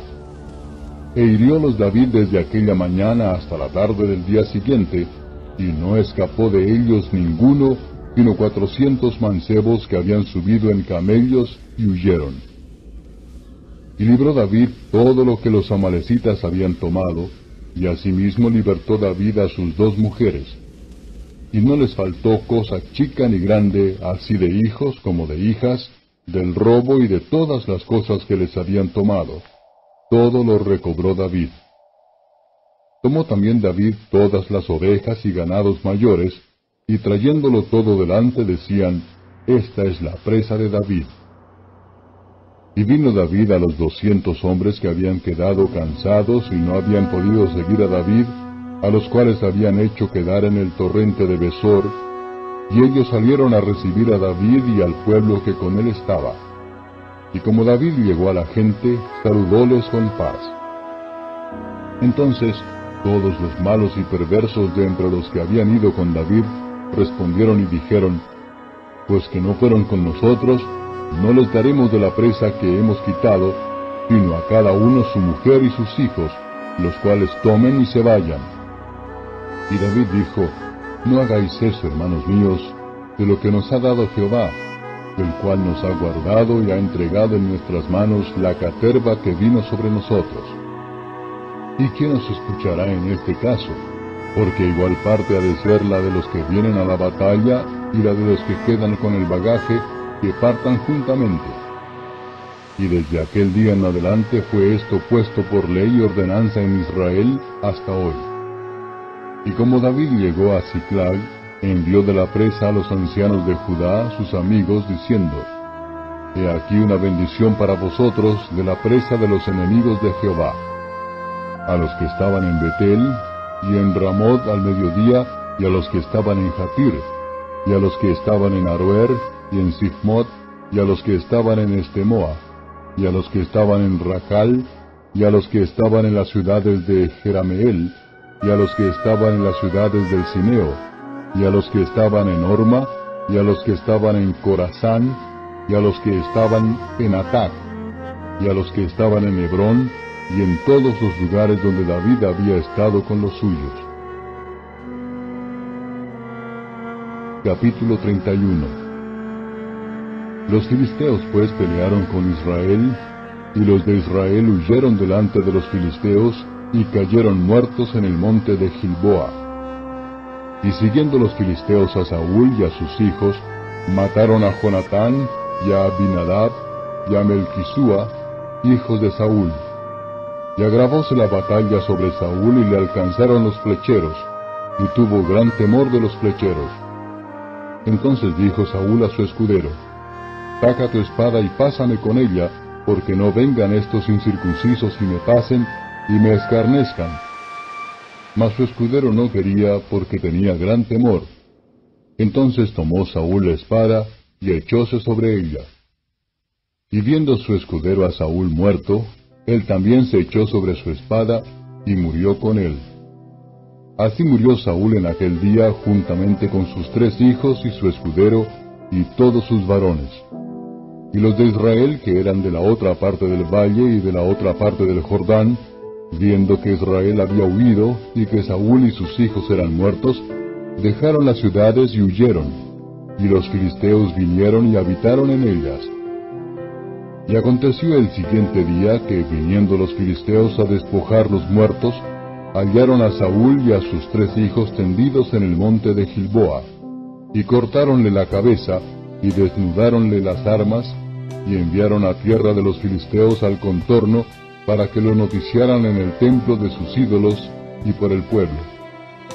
Y pusieron sus armas en el templo de Astarot y colgaron su cuerpo en el muro de bet Mas oyendo los de Jabes de Galaad esto que los filisteos hicieron a Saúl, todos los hombres valientes se levantaron y anduvieron toda aquella noche y quitaron el cuerpo de Saúl y los cuerpos de sus hijos del muro de Betzán, y viniendo a Jabes, quemáronlos allí. Y tomando sus huesos, sepultáronlos debajo de un árbol en Jabes, y ayunaron siete días.